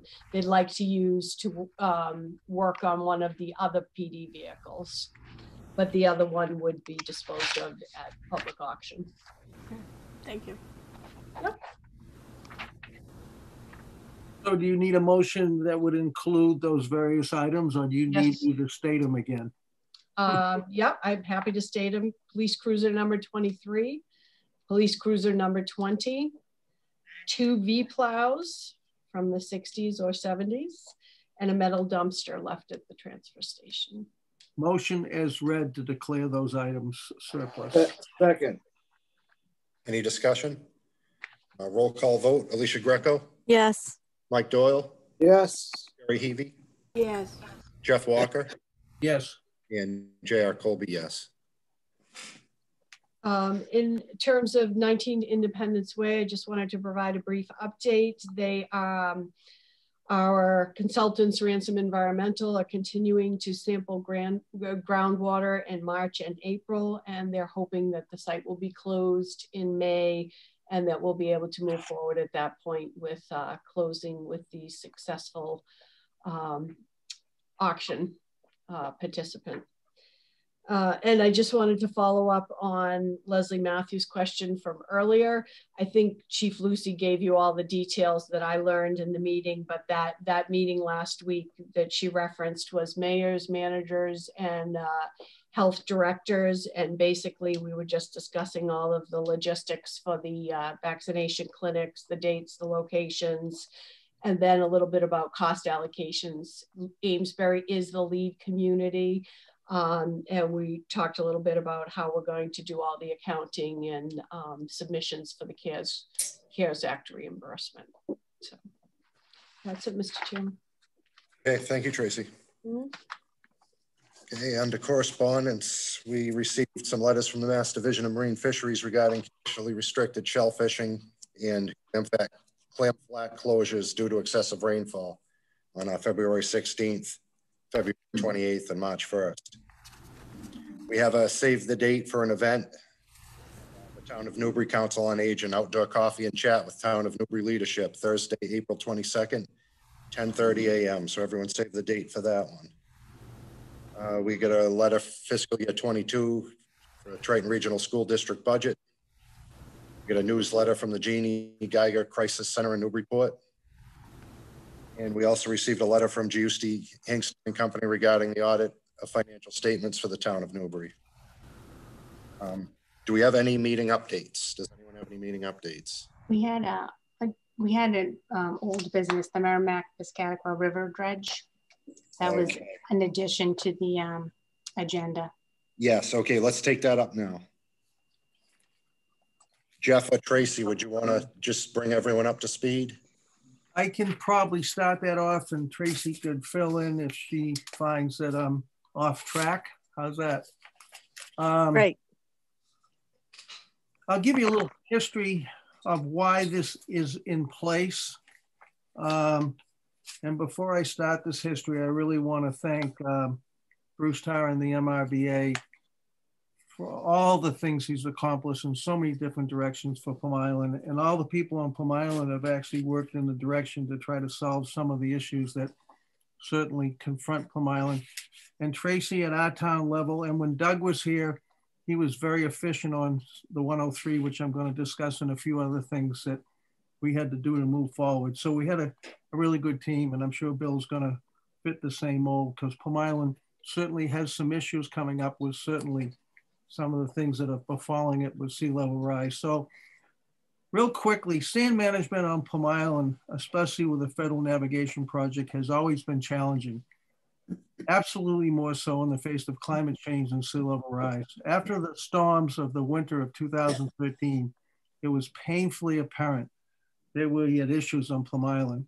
So we kind of stepped forward and enlisted the use of the Corps of Engineers Section 103 Hurricane and Storm Damage Reduction Project. In fact, I can remember, I, I was chair then, I can remember writing the letter. It was in May 4, 2017 to Mr. John Kennelly, who is the chief of the planning branch of the U.S. Corps, uh, Corps of Engineers. And in summary, it read, we request the Corps of Engineers investigate the problems under its Hurricane Storm Damage and Reduction Program, Section 103 of the um, 1962 River and Harbors Act. And this act showed the need and the awareness and, and, the plight of Plum Island and allowed us to step forward and put us in position to be able to accept some of the dredge sand should it come our way and of course through the hard work of the MRBA and uh, other folks, you know, we have do two dredge projects that are being bid finalized and coming to fruition. We also realized at this time that the drop zone, which is to the north of kind of Center Island from the groin to the north, we hadn't updated the um, all the stuff that we have to do through DEP and, and coastal zone and, and fish fish and all that stuff. So through Tracy's hard work, we uh, acquired a CZM permitting grant for the nearshore placement zone.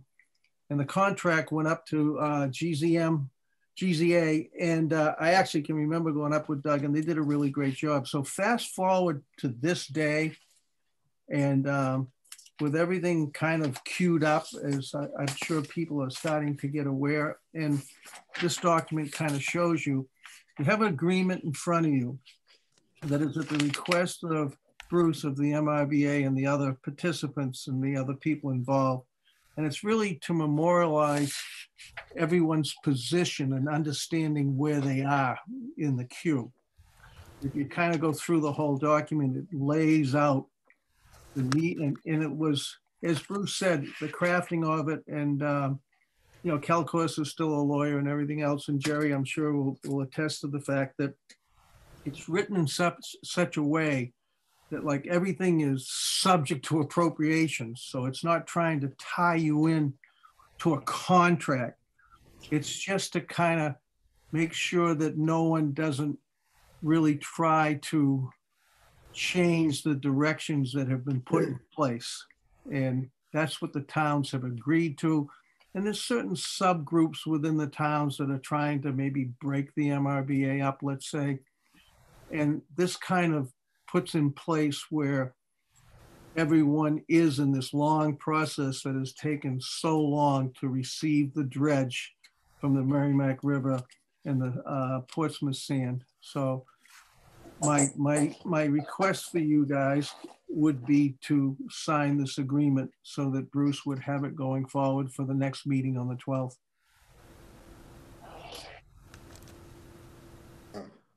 I move that we um, Alicia, sign the agreement as requested by Senator Tarr.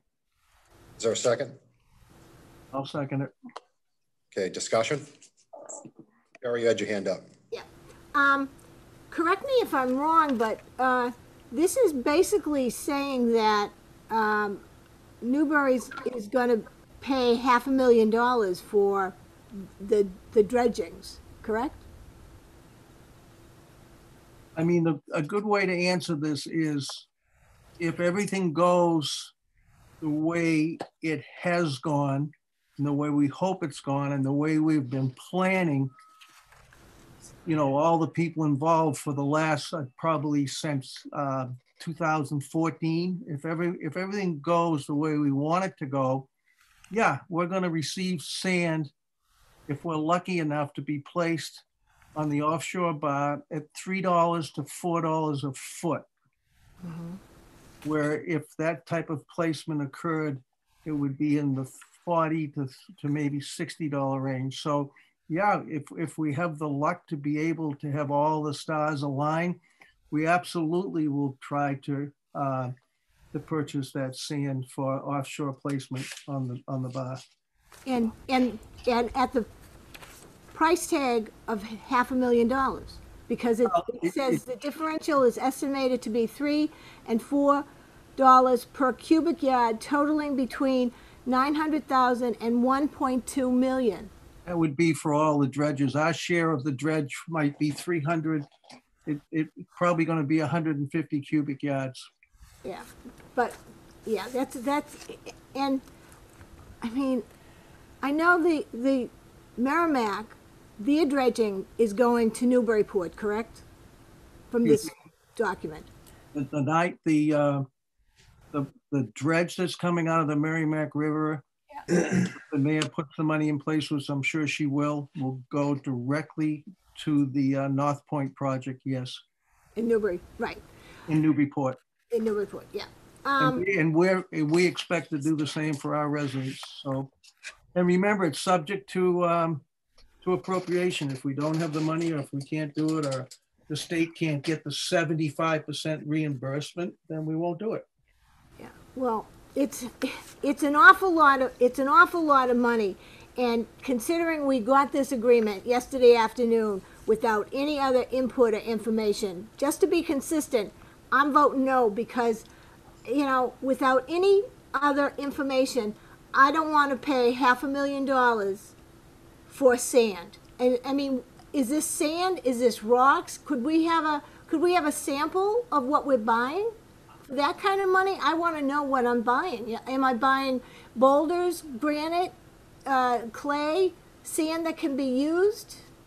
Um, The materials that have been determined to be compatible by testing that's been taken. Jeff, correct me if I'm wrong here. Is Uh, actually, it was a good statement. I mean, I have to, I have to deflect to all the engineers and everyone that's been involved in this that know so much more than I do for the, uh, for the product that's, like JR said, is compatible for offshore placement. And especially the, the stuff that's coming out of the Piscataqua, because it's a little bit coarser and will stay in place. So, but I understand, Jerry. I understand if you're not spreading your stuff forward for Plum Island on this, it's fine. So, Mike? I'm sorry. Just quick, just quick question. Last statement? Bruce, when did Bruce's email come in? Yesterday. Oh, that It came, it came in, this came in yesterday. Yeah. Uh, When did, we just I thought it was Friday, wasn't it? Didn't it come in Friday? Oh, yesterday. We received it yesterday afternoon. The MRBA met Friday and sent that sometime over the weekend and Uh, it was This, this forwarded to you meeting guys. was, I was at a meeting on Friday and this is when this occurred. this is, um, it's been, this has been in process. I know, like Jeff said, since at least 2014, there have been many, many meetings, many discussions uh, between leaders on the, at the local level, the state level, citizens, um, to, to- I don't like bringing things in late to the agenda. Um, this is a different situation. We're very lucky to have um, Senator Tarr and others working so hard on our behalf. And this is really one of our best opportunities to And I, families on the island. When you look at the number on a piece of paper, you know, it's, there's a, there's a good sized bill there. Um, but when we look at the amount of properties we can protect on Plum Island by doing this, or at least buy them some time, uh, I feel like it's very well worth doing in all. in JR, I gotta, I gotta establish the Jeff, fact. give me a second, please. Yeah, To go ahead. kick it around, um, frankly, would be disrespectful to Senator Tarr and other people that have put many, many years and many meetings and so much effort into this. It is a time-sensitive thing. Government's a barge. This has taken many years and it's actually coming close to fruition. Um, That's just where I stand. If the board feels it's a better idea to table this or kick it around, that's fine. But, um, Well, I, I also just gotta, before people get like invested in the fact that it's cast in stone, if you really read the last part of it, and it was written that way on absolute perfect, it was done that on purpose. This is all subject to appropriation. It's just to basically memorialize the intent of what we would like to do. Provided, however, that if one community is unable to pay the cost for its equal share of materials, then the other may receive the remaining amount of materials. This is not a binding agreement. So the it's my understanding that I can remember this from a long time ago. This is all part of that whole dredge process. Jeff, correct me if, if I'm wrong. They were talking about dredging the Piscataqua. They're talking about dredging the Merrimack. They're talking about dredging the, I think it was the Annisquam and the Essex River, because it's acknowledged that there is a serious issue on shifting sands um, in this region, and that this MB uh, Merrimack uh, River Beach Alliance group that is chaired by Senator Tarr has been working towards this for years. And this is just, and correct me if I'm if I'm wrong, is this just um, an administrative thing to keep this process moving forward? Because if the town of Newbury misses this opportunity to protect um, the Newbury side of the island and um, the other communities around us take advantage of this, it's no, I'm I'm not going to be happy. So please don't, Alicia. Please don't mistake the concept of dredging rivers because we're lucky enough to have the Corps to be able to do it. Like Essex might be in line soon for a dredge also you know, as a navigate navigation, you know, awareness because they shoal in. That's a mm-hmm. separate issue from the fact that these dredges have been online for a long time and Plum Island and houses and water and sewer after 2013, we certainly realized that if we get a chance to buy a large pot of sand that can be put on an offshore bar to make the waves tip over so they don't run into the shore with the velocity that they have. And we can continue to protect the water and sewer yes. and the homes. If we get that opportunity, yes.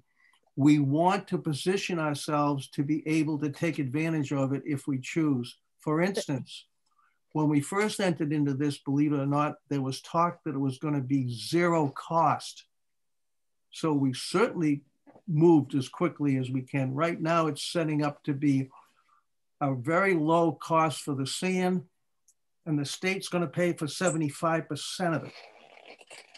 Hmm. When I step out on my deck at night, I live on Low Street. I'm a, you know, a fairways inland. Um, when the tide's right and the conditions are right, I can hear the ocean eating the beach down there. And it's I'm far away and it's frightening. It, frankly, I, I, I, worry for the people along the beach down, concerned about their homes. Um, I know they're in desperate need of some help. They've paid taxes for years and years. I think this is the least we can do for them. I mean, I know at the end of the day, Plum Island might be a losing battle and, you know, 60 years or 100 years or 200 years, but um, they're, they're they pay the taxes and I, I, I it's think it's still worth fighting for. I'm sorry. Well, I think that was well stated, JR, but I've, I've got to go back to just really kind of state to you guys that this is not made to be a binding contract, no more than the state wants it to be an absolute binding contract. It's subject to appropriations like the state and we can do. It is to keep everyone aware of what their abilities are and their placeholder is. And that's an agreement that Bruce would like to have. If so we choose not to do it, that's fine. So Jeff, you, when you say subject to appropriation, you're talking about appropriation at at, at our town meeting for the new or, or, any or anyone the ability if we can't pay the money it's the bottom line reads then salisbury could buy the share or nantasket could buy the share or right. you know, or they could throw it out to sea and no one will ever get the benefit of it. Right but if we don't move forward with this we won't we're going to miss this ship, right? Yeah. Okay, we have a motion on the, Alicia, you had a motion on the table, correct? I'll second, I seconded it. Okay. Thank well, yeah, we're in discussion. Okay. Um, I'll move to a roll call vote. Alicia Greco, Yes. Mike Doyle, Yes. Jerry Heavey, No. Jeff Walker, Yes. and JR Colby, yes. Thank you very much. Appreciate it. I, I know you've spent a lot of time, years, years plural at this point, at those MRBA meetings, and you've been right along all along on this, and thanks for that, Jeff. Well, I I appreciate it from my board because that's one of the very few things Bruce has ever asked me to do was to get the agreement. Well, So, you know, if, thank if you. this has been years in the making, why didn't somebody call me and let me know? You know, Um, I'm sorry, Jerry, if you had questions, you should have reached out to, I mean, I did you did- try to reach did- out to Jeff I or the town re- I did reach out. However, Jeff's name wasn't on this. You know, if this is so important, uh, a phone call would have been appreciated. Did you try to reach the senator's office? No, I didn't. I reached out to some other people that are, are knowledgeable. Are Did they you a part of the MRBA? I just got this yesterday afternoon, okay? And you Oh, want I understand that. vote uh, the taxpayers to a half a million dollars for sand? If No, it- they're not. That's not what we're doing. We're not asking the taxpayers to pay half a million dollars for sand. Well. It hasn't I been to read- appropriation I yet. read this, that's the price tag that's it stated in this. And I don't think it's, I'm doing my job as a, a selectman to vote on something that I receive in, within twenty-four hours when it has a price tag of a half a million dollars. And I don't see any language, Jeff, you've mentioned this a couple of times, appropriation. There's nothing about the word appropriation. So, you know, I, I, I'm not, I'm not comfortable. That's fine. You voted the way, you know, you gotta vote your own comfort Jerry, level. Jerry, I don't want to argue because really, honestly, you have a good point. I mean, Mike's got some history. He kind of, he, he's gone to the MRBA meetings. He's kind of followed all this. You, you really haven't because you're kind of new. But that, if one community is unable to pay, that's pretty much if appropriate, if funds aren't appropriated, you know, that's not, it's just meant to be what the outline is meant to be. It's not a binding agreement that the town of Newbury is going to have to pay for that sand. The state doesn't even know if they can get the money to pay for it. They might only get 50% of it. They might get 25% of it. We don't even know what's ahead. It's absolutely not a roadmap for what we have to do. It's signing an agreement that if everything is perfect and all the stars align, that we would be in place to do this. And Jerry, I'm gonna apologize to you because, Rushed it through tonight, didn't we? well, I, I'm gonna apologize to you because when we got this, I think it was yesterday, the thought crossed my mind to call you on it because I wasn't sure if you were aware of all this MRBA stuff. And the day got ahead of me and I said to myself, well, if she, and then at last night, I was like, well, if she's had any questions, I'm sure she would have reached out. So, um, I did. I won't do that I did- again. I did reach out to what sources I had because I, I certainly, well, never mind. The, it's, the vote is done. Well, you didn't reach out to any of the board members. Did you, JR? Did you get a call? None. I got a call. You got a call? Mhm. Did you explain, did you explain to her? I explained what I could, like I said, but I agree. One of the things that I've, and I've talked to the chairman about, we, this isn't a good example, but we have to get stuff in advance before we just, we vote on it. And that has been rectified in the last few months. I know. I and know, it'll it'll- Much better, but I'm just saying, it's like, Got this it's, yesterday. it's. a- When it's I get some, before. when I get something this important from Senator Tarr, it's going on the agenda. Yeah, you know, sometimes things come out of left field like this for us and it's not, you know, I don't like it either, but um as the executive branch of the government, you're kind of got to be able to shift like that. Right. I, and I Can't be rigid.